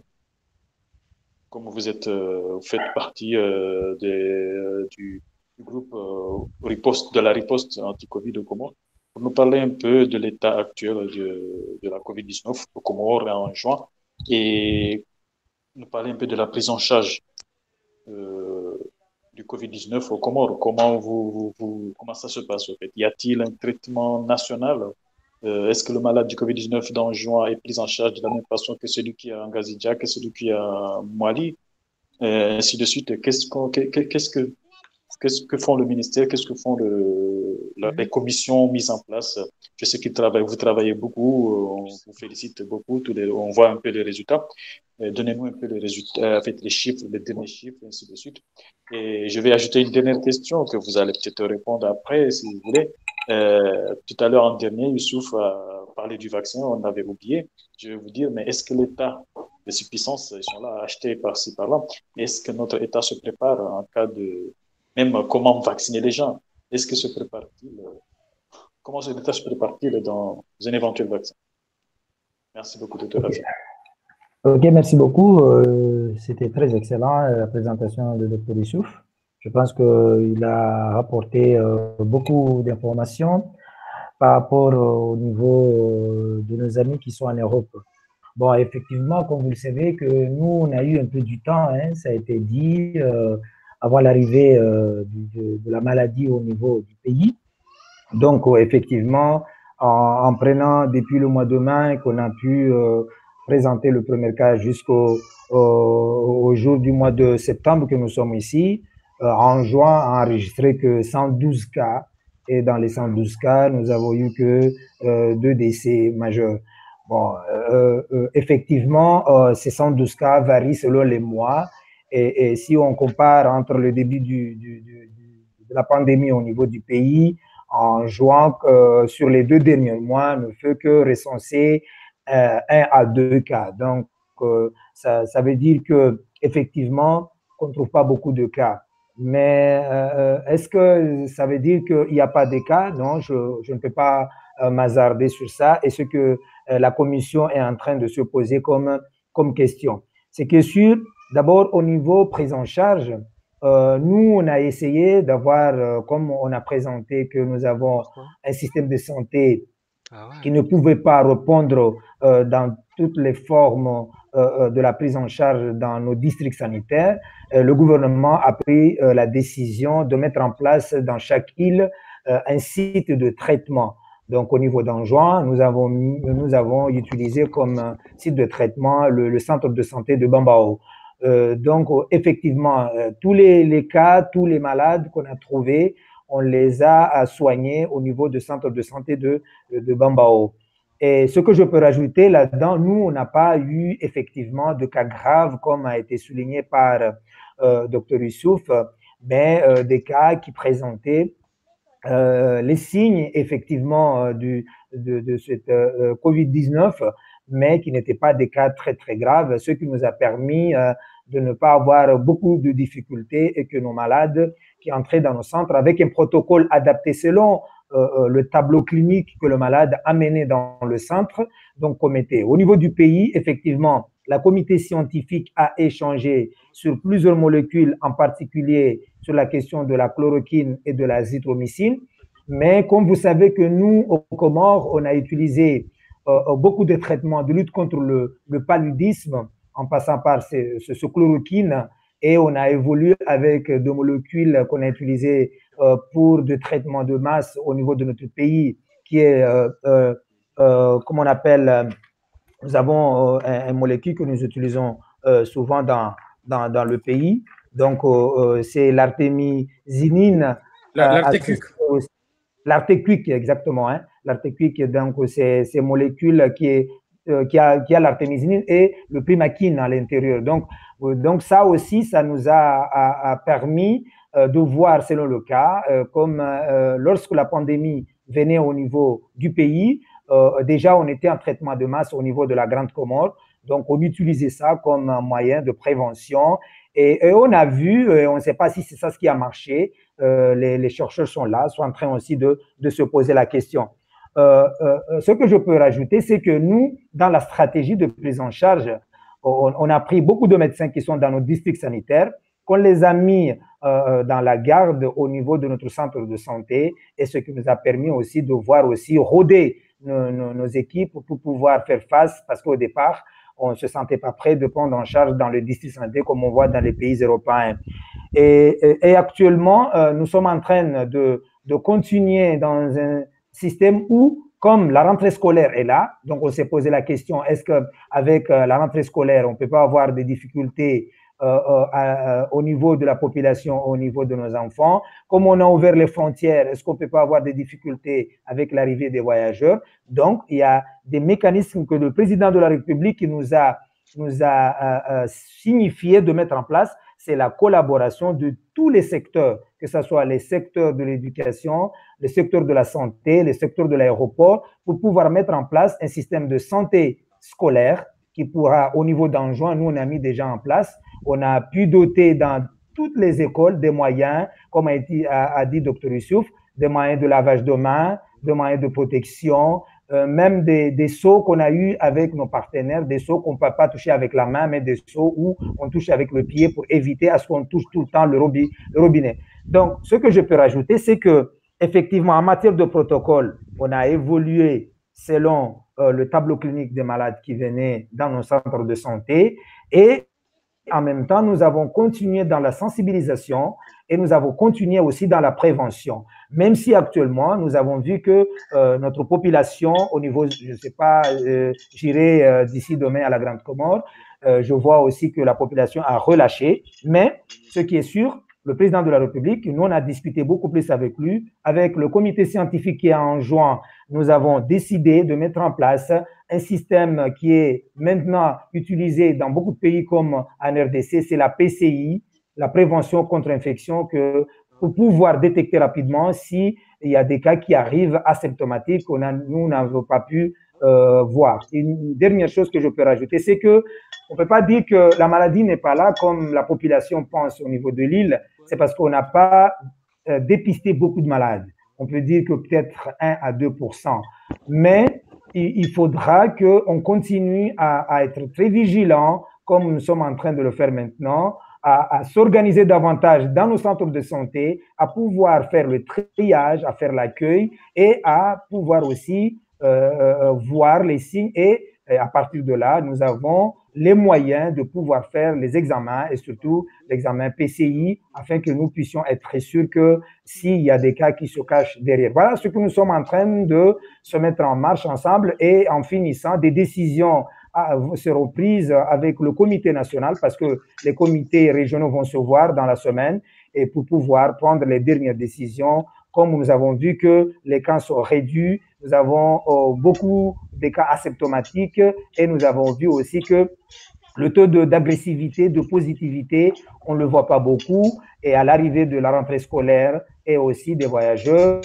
des mesures, nous allons les, prendre pour les jours à venir. Voilà à peu près un petit, petit peu sur la situation au niveau de l'île, comment nous nous organisons. Donc, c'est la solidarité entre nous pour pouvoir bien se, préparer euh, si euh, euh, éventuel, on ne sait pas, comme a dit Dr. Youssouf, avec cette mutation du virus, et aussi la collaboration de tous les secteurs pour pouvoir faire face ensemble en mettant le paquet au niveau communautaire, parce que j'ai oublié aussi de rappeler que dans la stratégie du pays, nous avons la stratégie des agents de santé communautaire. Nous avons des éléments que nous avons formés qui, sont là pour nous donner les données, pour nous renseigner des cas éventuels qui peuvent se cacher dans nos villages, dans nos maisons et qui peuvent être risque d'inflamber ou quelque chose qui, se cache derrière. Donc, on se prépare à beaucoup de, stratégies et, surtout, nous, mettons le paquet sur la solidarité et la stratégie de collaboration entre nous et, les autres secteurs pour pouvoir faire face et éviter le risque éventuel d'une nouvelle euh, crise au niveau de l'île. Merci beaucoup, euh, docteur euh, Afi, de votre intervention. Euh, il y aura des questions sûrement qui ont été posées, qui vont poser. Nous allons rapidement essayer euh, que chacun de vous prend deux minutes, des juristes, des, des médecins, euh, de parler d'une question très, très, très, très, euh, très importante qui n'a pas sorti un peu du Covid-19. on va parler des évacuations sanitaires. La question en est que pourquoi tant d'évacuations sanitaires dans notre pays? Quelle est la cause, d'où vient cette, euh, où est le, problème? Et sont vos solutions? Quelles solutions peut-on mettre en œuvre pour diminuer un peu ces, cas euh, d'évacuation sanitaire? On peut commencer avec vous, docteur Rafi, quand vous êtes là rapidement, avant de passer à docteur Youssouf, docteur Ouled et docteur euh, Nasser. Bon, moi, à mon avis, je pense que ce problématique d'évacuation sanitaire se pose sur le, le même problème de ce qui est euh, du système de santé euh, de notre pays. Euh, si on arrive, comme je le disais, à avoir des infrastructures de qualité, des médicaments disponibles de qualité et ainsi que de ressources humaines bien formées, stables, que chacun a ses, missions bien tracées, je pense que cette confiance pourra revenir.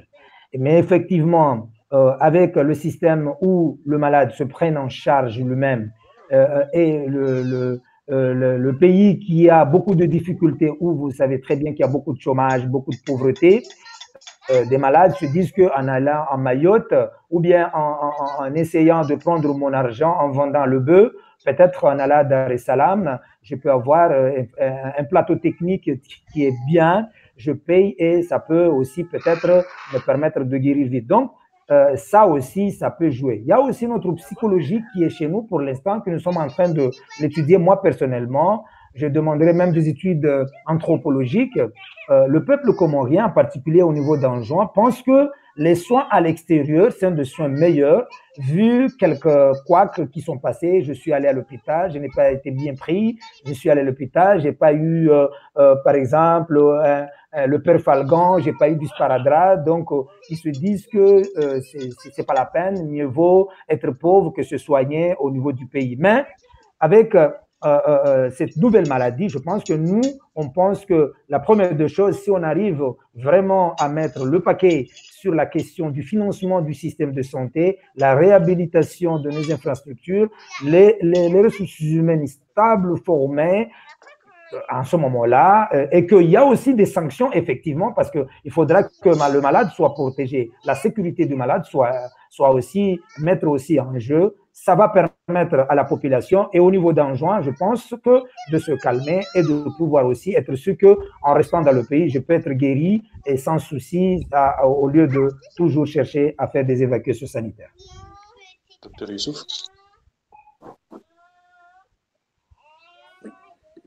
Oui, je, je, vois que euh, Dr Afid a, a, a, tout dit. Hein.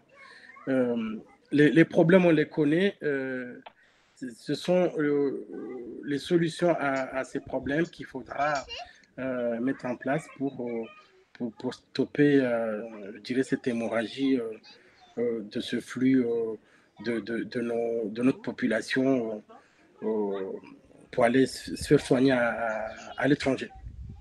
Il y, a, un problème lié à, la confiance de la population. on sait très bien que cette relation médecin comorien, euh, malade comorien, cette relation euh, n'est pas forte et ça a été dégradé euh, maintenant il y, a, plusieurs années qu'il faudra reconquérir. Il y a le, problème du, plateau technique. C'est sûr et certain que, étant médecin, quelle que soit votre formation, vous posez un diagnostic et qu'il faudra euh, pour appuyer ce, diagnostic, euh, faire euh, un bilan paraclinique, quel que soit, biologique ou, imagerie.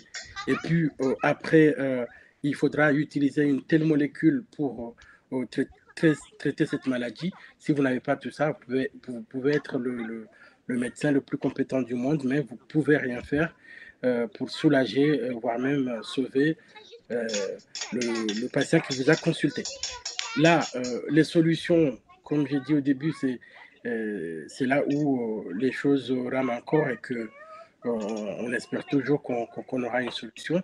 C'est que il faudra des médecins qui sont bien formés, il faudra un plateau technique euh, qui, euh, répond aux normes. Euh, nous qui travaillons en Europe, on sait très bien combien la santé coûte cher.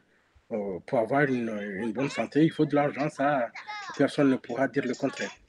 Et puis après, dans le temps, je crois que cette confiance qui a été rompue entre le médecin et, son malade pourra euh, pourra se, reconstruire et, et que pourra stopper cette hémorragie euh, des patients qui, euh, du, du, moins grave au plus grave, n'a qu'une solution que de prendre la mer ou, les airs pour aller se faire soigner à l'étranger.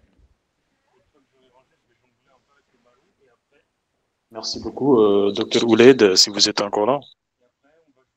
Oui, je suis là et j'écoute attentivement les discussions. Euh, euh, moi, bon, bah, je, docteur Afi et, mon collègue qui vient d'intervenir, euh, ils ont aussi dit les choses, mais moi, je vais encore être plus percutant. Je vais d'abord répondre à une question qui a été posée en ligne de Jafar Alamdi, qui demandait si les initiatives communautaires Hein? on, va, on va répondre aux questions après, s'il vous plaît. D'accord, ok. Donc, je, réponds à la question que vous m'avez posée. Euh, moi, moi, je crois que la caution de la, confiance est importante. Mais également, il faut se poser la question euh, au niveau de. pardon, au niveau de, de, la diaspora. On a une coupure de courant là, si vous ne me voyez pas. C'est les Comores. Euh, a la question de la diaspora qui n'a pas été posée, mais je crois que la diaspora joue un rôle important aussi sur cette peur du système comorien. Parce que quand vous avez votre parent qui est malade, euh, vous dites non, on va vous payer tout de suite, vous allez aller à Madagascar, vous allez aller en Tanzanie.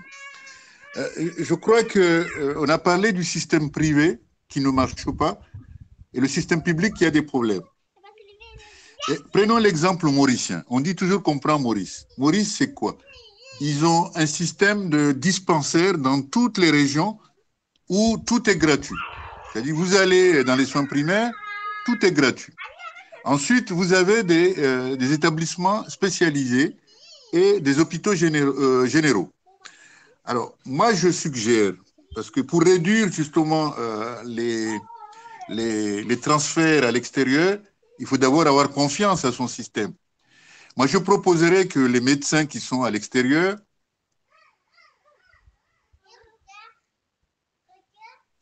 puis moi, dans l'année ou dans tous les deux ans, pour venir exercer avec les collègues ici, partager l'expérience. Deux, ceux qui ont les moyens de créer des hôpitaux de très grande qualité en association avec des grands groupes en France ou ailleurs, ils peuvent le faire ici. Des gens qui sont capables de louer un avion, de donner de l'argent pour louer un avion pour les amener en Tanzanie. C'est-à-dire qu'il y a des gens qui ont de l'argent au Comores. Et donc, il y a de l'argent à gagner pour ceux qui veulent faire le privé. Maintenant, si ce privé-là est là, on pense, moi je pense sincèrement qu'on peut valablement euh, pouvoir réduire un peu les évacuations sanitaires. Euh, J'avais un point important que je voulais développer, parce que mon collègue Dr Afi, elle l'a dit, euh, le problème des équipements est important, mais il faut avoir aussi les gens pour les utiliser. On a un gros problème de maintenance des équipements qui sont donnés dans les hôpitaux.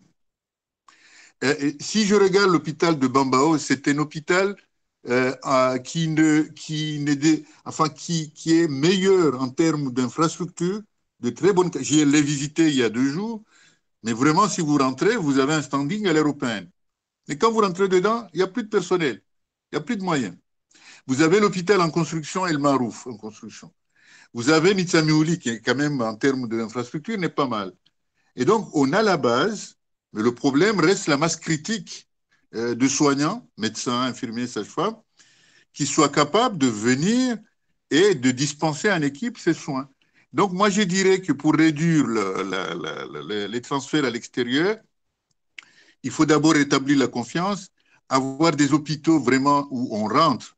On ne rentre pas dans un mouroir avec des lits qui sont cassés, avec euh, bah, avec des gens, euh, des infirmiers ou des sages-femmes qui ne sont pas habillés et qui sont habillés avec le, leurs habits normaux, normaux comme on dit, etc., etc. Et donc, je, je pense que, et puis, un point peut-être sous la recherche. Et d'ailleurs, je vais le lier avec le, le sujet précédent. Moi, je cherche des collègues parmi vous, ou ceux qui écoutent cette émission, pour faire une rétrospective de l'épidémie de Covid euh, parce qu'on a quelques informations que quelques Comoriens qui étaient en Chine euh, en novembre ou en décembre sont revenus avec de la fièvre ou avec euh, quelques pathologies.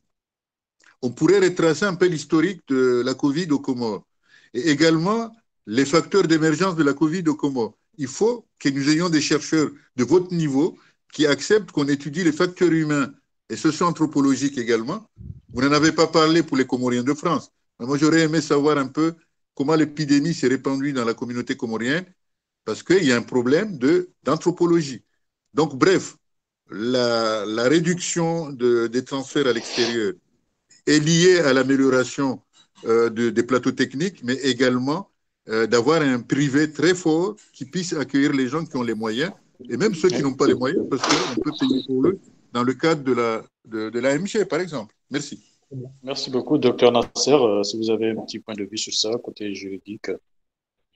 Oui, c'est surtout là où j'ai voulu intervenir, puisque euh, concernant les évacuations sanitaires euh, vers l'extérieur, moi, je pense que ça a été déjà dit, les problèmes qui ont été déjà soulevés, c'est surtout le problème du respect de la dignité du patient, et aussi les problèmes de moyens qui se posent euh, dans l'ensemble du territoire euh, de l'Union de Comores, puisque si nous constatons il y a un problème surtout euh, de relation patient et médecin, puisque déjà le, patient qui arrive à l'accueil d'un centre hospitalier ou bien d'un dispensaire quelconque, il, ne connaît pas du tout ses droits.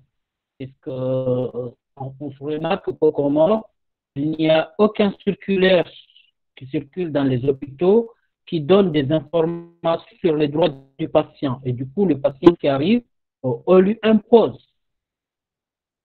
Au lieu de connaître ce droit, il se trouve dans cette difficulté et la confiance envers son médecin traitant euh, s'en venir de plus en plus.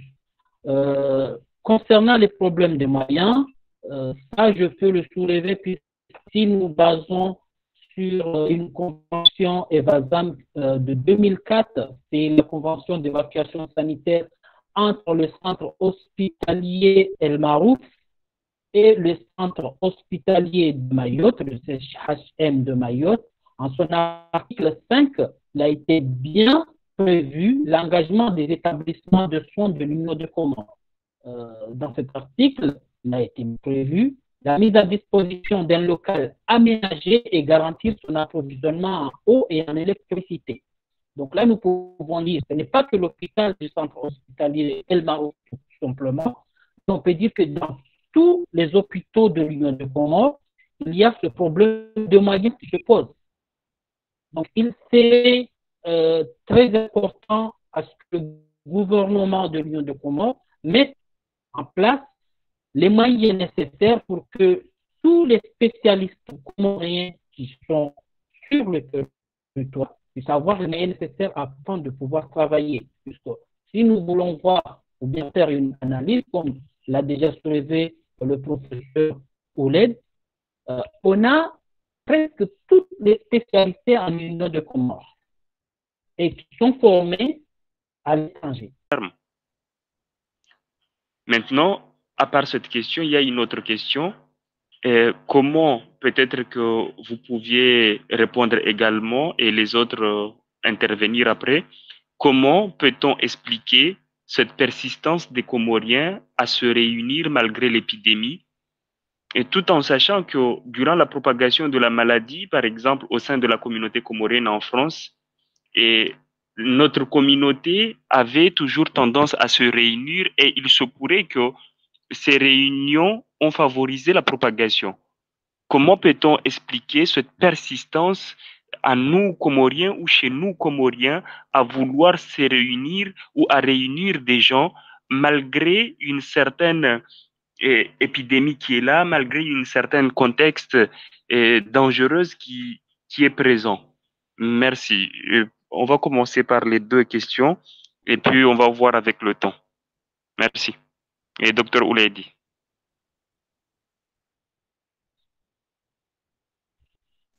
Allô? Allô? Vous m'entendez? Oui, on vous attend. Voilà. Donc, la réponse à la question euh, euh, euh, de notre ami Jafar, ou qu'est-ce que je dois? Oui Oui, je vais peut-être répondre à la question de Jafar, voilà, de Jafar sur les questions des, hôpitaux ou des, des, centres de santé villageoises. Vous savez que le Comorien, en général, et surtout les intellectuels, c'est-à-dire des gens comme vous, comme moi, quand on habite un quartier ou un village, euh, on va créer un hôpital parce que demain, quand tu es malade, euh, il faut aller directement à ça. Parce que le village d'à côté a un hôpital. Donc, pourquoi ce, village nous a battus? Et donc, c'est une question de compétition. Mais en réalité, euh, on construit, on met l'argent, la diaspora envoie l'argent, le village paye, on construit le bâtiment, on, a un infirmier qu'on demande au gouvernement, on fait l'inauguration en pompe avec la mobilisation de tout le pays. Et puis, une fois que la mobilisation se fait, le centre de santé euh, devient plutôt un abri à côté des chèvres et des bœufs qui passent dans le coin. Parce qu'on n'a pas fait de planification, on n'a on a, on a rien préparé. Parfois, on va chercher un médecin malgache, il faut le dire, il faut chercher nos, amis, euh, nos voisins, pour venir assurer le fonctionnement. Il le fait pendant un an ou quelques mois et comprenant la situation comme moi, le médecin malgache ou étranger qui vient, il y a eu même des, des, des, Rwandais, ils s'installent en privé, ils développent leur activité et comme il n'y a pas de contrôle, donc euh, au niveau de l'ordre de médecins, certains médecins étrangers peuvent exercer dans le pays sans avoir les autorisations nécessaires. Donc vous voyez un peu la chaîne et les difficultés qu'on a. Et le village se bat pour que le médecin rwandais ou étranger, il y a eu un Rwandais qui est resté pendant cinq ans dans le sud de l'île de Ngaziga, mais qui a été maintenu. Apparemment, on a dit que même il n'était même pas médecin, parce que et qui est resté par la force des communautés, des communautés du coin. Personne n'était capable de, fermer ce centre et d'arrêter ce médecin pour exercer. Donc, vous voyez la problématique. Il faut que l'État soit fort, mais il faut aussi que les Comoriens comprennent que on n'ouvre pas un centre de santé avec un médecin ou avec un infirmier. Il y a tout un ensemble à mettre en œuvre. Donc voilà, je pense qu'il faut les arrêter, ces constructions, et mettre en place les dispensaires et qui pourraient éventuellement mieux équiper euh, plutôt que euh, d'aller vers l'aventure et euh, sans lendemain. Pratiquement, ils ont tous fermé pour la plupart. Merci.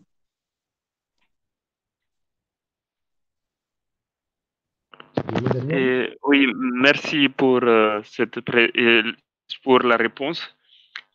concernant la deuxième question, je disais tantôt, comment peut-on expliquer la persistance des Comoriens à se réunir malgré l'épidémie? Je ne sais pas si docteur Hafi veut commencer. On va commencer peut-être par docteur Hafi. Euh, oui, merci beaucoup. Euh, je voulais juste rajouter un mot au professeur, Lady Docteur, euh, qui a essayé de montrer effectivement ce problématique où les villages, les villes veulent à tout prix avoir des centres de santé. Il n'y a qu'un seul mot qu'il a dit. Il faut qu'il y ait un État fort qui, doit dire les choses, comment il faut, le, il faut que les choses se fassent.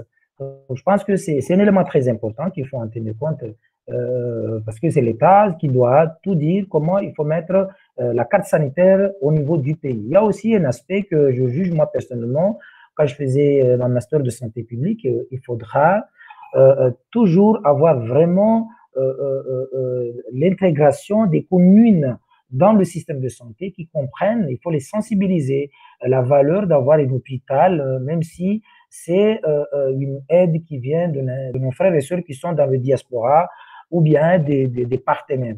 À, peu près, peut-être ça peut aussi arranger cela. Mais par rapport à ce que, euh, comment on peut comprendre la persistance de, réunions des Comoriens malgré euh, cette maladie? Moi, je pense que au niveau d'Anjouan, je discute beaucoup avec la population pour savoir vraiment qu'est-ce qu'ils ont compris par rapport à cette maladie. Je, je, comprends d'abord que l'intellectuel comorien, l'intellectuel anjouanais, lui regarde la télé et dans un premier temps se dit que, bon, voilà, quand vous parlez de 112 cas pendant six mois en juin, alors que vous, je vois à tous les jours 10 000 cas dans les pays développés, ils, disent qu'ici, il n'y a pas cela et dans ce sens, il n'y a pas cette maladie. Et même si on leur dit que les mesures barrières, lavage des mains, distanciation sociale, porter les masques homologués, ça vous permettra d'éviter cette, cette maladie. Ils ne comprennent pas du tout. Ils disent qu'ici, il n'y a rien. Il y a autre chose que, avec aussi euh, la, reprise des, épidémies comme la dengue, comme le paludisme, ils disent que la fièvre, c'est la même chose.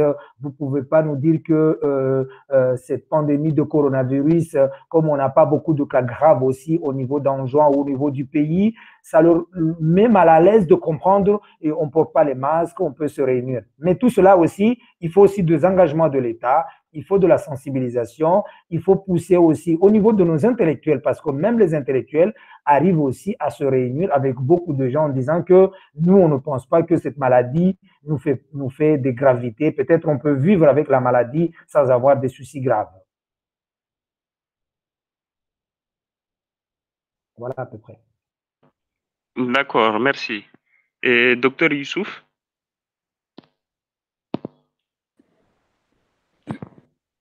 Euh, je, vais intervenir sur euh, deux questions. La première, c'est revenir sur, ce que a, proposé notre professeur euh, Ouled. ça m'intéresse beaucoup de, de, revenir un peu sur cette étude rétrospective, voir un peu euh, le, chercher un peu le patient zéro, vu l'afflux de, nos compatriotes qui se trouvent en Chine et qui. Euh, euh, il y, a des informations qui, nous laissent croire, voire même qui peuvent nous dire que le virus circulait bien avant que le, président de la République ait, ait, proclamé le premier cas au Comores. Euh, pour vous dire, c'est que euh, moi, je travaille dans un service de maladies infectieuses tropicales euh, en Seine-Saint-Denis, dans le 93, en Ile-de-France. Et nous avions un patient qui a été hospitalisé en réanimation, qui a fait cette pneumopathie. mais cette époque-là, comme il n'y avait pas de PCR SARS-CoV-2, que heureusement, ce patient était guéri, mais qu'on ne savait pas et qu'on on est revenu sur ce dossier. Et ce patient a été hospitalisé en décembre et on est revenu sur ce, dossier et les virologues ont pu euh, isoler le SARS-CoV-2. Euh, c'est pour dire que le virus circulait bien en France avant le premier patient de mars. Ce qui fait que euh, je, je, ça, m'intéresse beaucoup plus de, de voir comment et les modalités de, pouvoir travailler ensemble et, revoir un peu quand ça, a commencé, sachant que euh, euh, nous avons beaucoup, une grande diaspora comorienne en Chine, et c'est sûr et certain. Et, là, on l'a vu aussi que le, virus a, été, a commencé à circuler dans le territoire national comore par rapport à, ce flux migratoire entre ces pays, voire même la France, quand les Français étaient déjà euh, contaminé, que le virus circulait. Deuxième chose, euh, il s'agit euh, de, ce problème anthropologique, voire même culturel de, notre, de, notre communauté. pas seulement en Comores, mais parlons un peu en France parce que j'y étais. Et moi, en mars, comme je suis en, maladie infectieuse, on, a, on a reçu les, les premiers patients. Euh, j'ai été parmi euh, les collègues euh, qui, qui, sont ici en France.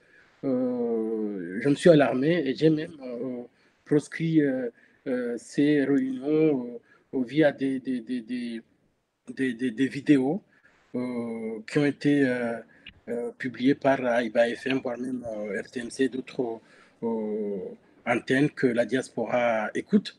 je me suis alarmé sur euh, le moment où j'ai vu que le président de la République française, Emmanuel Macron, a interdit euh, tout rassemblement et que le, samedi, parce que je me rappelle bien, le discours c'était un jeudi, et le samedi, ne serait-ce qu'en Ile-de-France, on avait plus de six mariages dans des salles, sachant que les salles de mariage en France, toutes les conditions de la propagation sont réunies pour former des clusters Covid-19. il y en a eu beaucoup de, de, mariages dans des salles, voire même, là, je ne peux pas les compter, le nombre de Maulida par-ci, par-là, dans, dans, nos salons de, de, nos appartements, un, un par-là, ou bien tous nos, nos, festivités anniversaires ou, je ne sais pas quoi. on continue à, à, nous rassembler, voire même en plein confinement. Il a fallu, et là j'ai pu le suivre, il a fallu qu'il y ait des Comoriens et Comoriennes contaminés, voire même décédés de, l'infection Covid-19 pour que la population euh, oublie un peu euh, ce, fameux dicton d'un Comorica fois microbe, euh, accepter que oui, oui, oui, je connais monsieur tel et il a bien fait la pneumopathie et malheureusement, il, il, était en réanimation, il décédé ou, ou, guéri. Voilà. on a perdu beaucoup de temps parce que vous avez vu ce qui s'est passé à Marseille. Euh, Marseille qui, qui engorge une, grande population comorienne.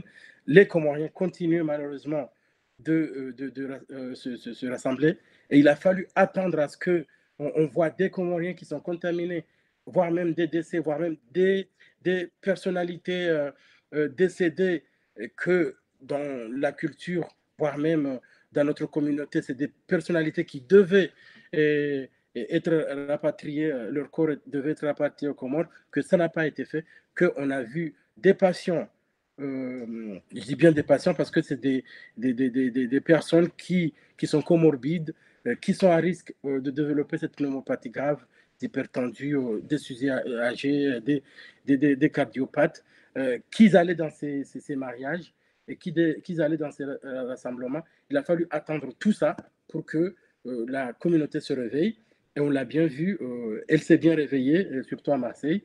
Et puis nous, euh, je, je, tiens à, remercier mes, mes collègues, quels que soient mes collègues confondus du, du secteur de santé issus de la diaspora comorienne et qui travaillent en France. Ils ont fait beaucoup, beaucoup de choses. Ils ont fait un, grand boulot pour, sensibiliser la population et pour lutter contre la propagation de cette infection. Euh, là, euh, docteur Ouled l'a dit, hein, euh, c'est tout à fait normal. C'est un peu comme euh, non aux villageois qui maintient à ce que non, le médecin rwandais qui peut-être n'a pas les habilités à exercer parce que déjà il n'est même pas médecin, parce qu'il n'est même pas inscrit à l'ordre des médecins au Comores, on a vu que c'est notre culture, c'est notre comportement euh, on ne peut pas dire le pourquoi, mais on le sait, ça existe, ça se voit tous les jours. Malheureusement, on est comme ça. Euh, les Comoriens, euh, on a du mal, je mets dans, dans, ce lot, dans l'échantillon, on a du mal à accepter les choses très facilement parce qu'on a des dictons qu'on les répète comme ça et qu'aussi on, prend du temps pour se rendre compte que, de, la gravité de, de, de la situation. Merci.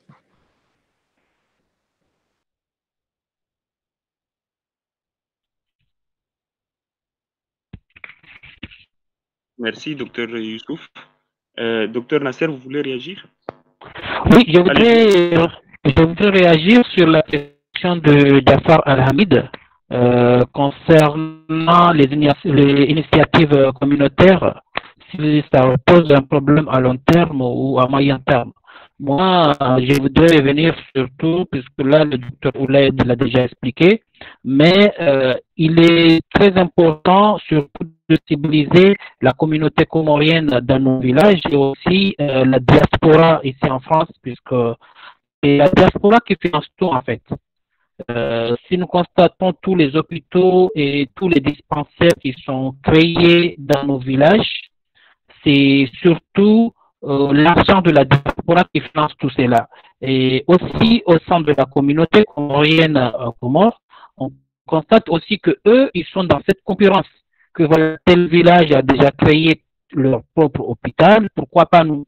Et le problème, c'est surtout la carte sanitaire de l'Union de Comores. Parce que il faut savoir que il y a des hôpitaux régionaux qui sont là, par exemple l'hôpital régional de Mitsameuli, l'hôpital régional de Fumuni pour la région de Mbadjini. Ces hôpitaux-là, les dispensaires qui sont créés par la diaspora ou bien par les villages vont dépendre de ces hôpitaux régionaux. Donc, il est très important à ce que euh, nous, les intellectuels euh, comoriens, puissent expliquer ou sensibiliser la diaspora pour leur dire qu'au lieu d'aller créer des hôpitaux, il faut créer des dispensaires. Des petits dispensaires qui permettraient à ce qu'un patient qui a un petit bobo puisse aller se soigner. Par contre, un patient qui est gravement malade, qui a besoin euh, de soins, euh, ou bien des grands soins, puisse se rendre dans l'hôpital régional. Et sur l'hôpital régional, peut décider que ce patient-là soit transféré euh, vers l'hôpital de Moroni ou bien soit transféré vers notre hôpital euh, d'une autre île. Là, cette concurrence qui se pose, on constate aussi euh, l'arrivée de la politique de décentralisation donc, il serait aussi indispensable de sensibiliser afin qu'il y ait euh, la politique intercommunale, puisque nous avons euh, les communes qui sont aussi en pleine concurrence et qui serait important d'expliquer à toute la communauté que chaque commune ou bien les différentes communes d'une même région peuvent s'unir ensemble afin de créer euh, un hôpital euh, communal ou bien un dispensaire communal. Cela permettrait facilement de connaître ou bien de détecter euh, les médecins qui sont qui viennent dans ces centres et qui veulent travailler sans l'autorisation de l'ordre de médecin. Euh, il y a aussi ce que je voulais soulever, c'est les autorisations euh, dans les villages, puisque nous, Comoriens, on a tendance à dire que le notable comorien, il a un pouvoir, puisqu'ils disent qu'un village, c'est l'État. Un village, c'est le pouvoir public dans le village et dans la région. Et ça pose problème, puisque seul l'État qui est capable de délivrer les autorisations pour ouvrir un dispensaire ou un hôpital. Et on constate à nos jours qu'il y a pas mal de notables qui s'imposent, qui veulent que voilà, ça, nous voulons que ça soit créé, euh, la place est là, nous avons notre argent, on crée, on va construire notre propre dispensaire. Il est temps, il est temps, à nos jours, d'informer, de sensibiliser la population à ce que ces structures sanitaires se limitent et dépendent aussi des hôpitaux régionaux comme les hôpitaux régionaux qui sont déjà euh, mis en place. Je vous remercie. Euh, euh, merci, docteur. Je ne sais pas si tout le monde a terminé. Je, voulais dire un petit mot avant que, parce que le temps court, et ben, je crois qu'on a eu un débat assez intéressant. Bon, je ne conclue pas, hein, mais je voudrais proposer euh, à la fois aux, intervenants et à ceux qui nous écoutent euh, que ce débat ne soit pas quelque chose euh, qui est pris par le, le vent et qu'on refasse d'autres débats. Euh, je souhaiterais peut-être euh, euh, que les gens qui sont avec nous ici, on puisse continuer, voir dans quelle mesure on peut développer une revue scientifique ensemble avec l'Université des Comores pour les publications et organiser un certain nombre d'événements scientifiques sur la santé. Euh, docteur Afi est là, on peut le faire, parce que vous savez, on fait très peu de rencontres de ce genre, on se voit très peu, et, c'est la seule occasion que nous avons ensemble de voir des spécialistes du droit, des spécialistes de santé publique, etc. Mais malheureusement, l'expérience dont on parle ici devrait être partagée à nos jeunes générations, mais également aux Comoriens. Et de là, la proposition que je voulais faire, parce que nous, on connaît la diaspora. Pour la diaspora qui m'écoute, même s'ils sont fâchés, vous êtes fâchés, mais on vous connaît par vos contestations politiques. Il faudra qu'on se connaisse aussi par nos contestations scientifiques. C'est-à-dire poser les vrais problèmes qui, nous, qui, qui, nous concernent et essayer de trouver des solutions pour que les politiques puissent s'en servir et modifier les choses. Mais on est un pays hyper politisé depuis 45 ans. Et quand vous dites bonjour à quelqu'un, la première réponse qui dit est-ce que le gouvernement est comme ça et que ceci? Non, on ne doit pas faire comme ça.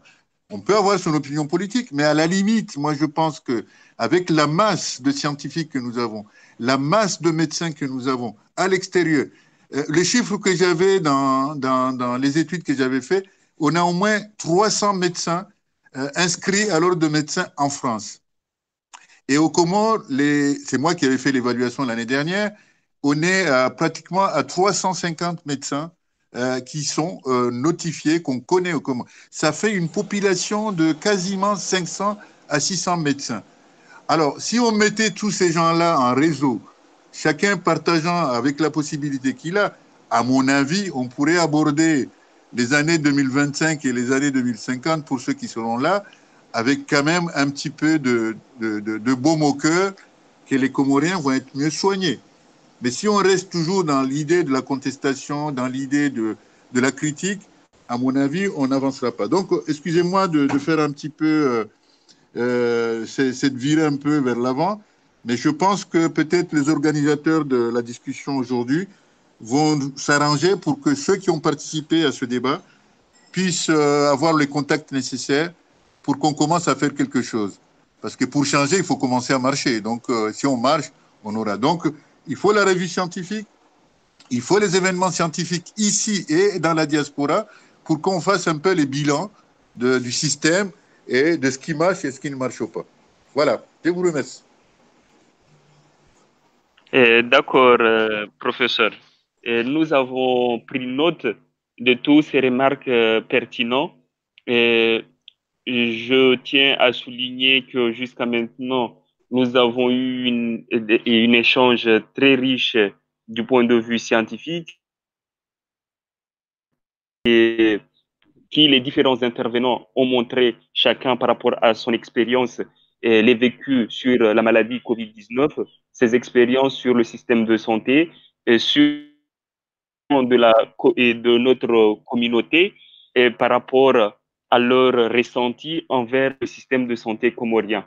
Il y a eu beaucoup de questions, il y en a euh, des questions qui affluent encore, notamment euh, comment ou pourquoi le peuple comorien n'ont pas confiance à nos médecins, bien qu'ils sont et bien que beaucoup d'entre eux étudient dans des grandes euh, universités.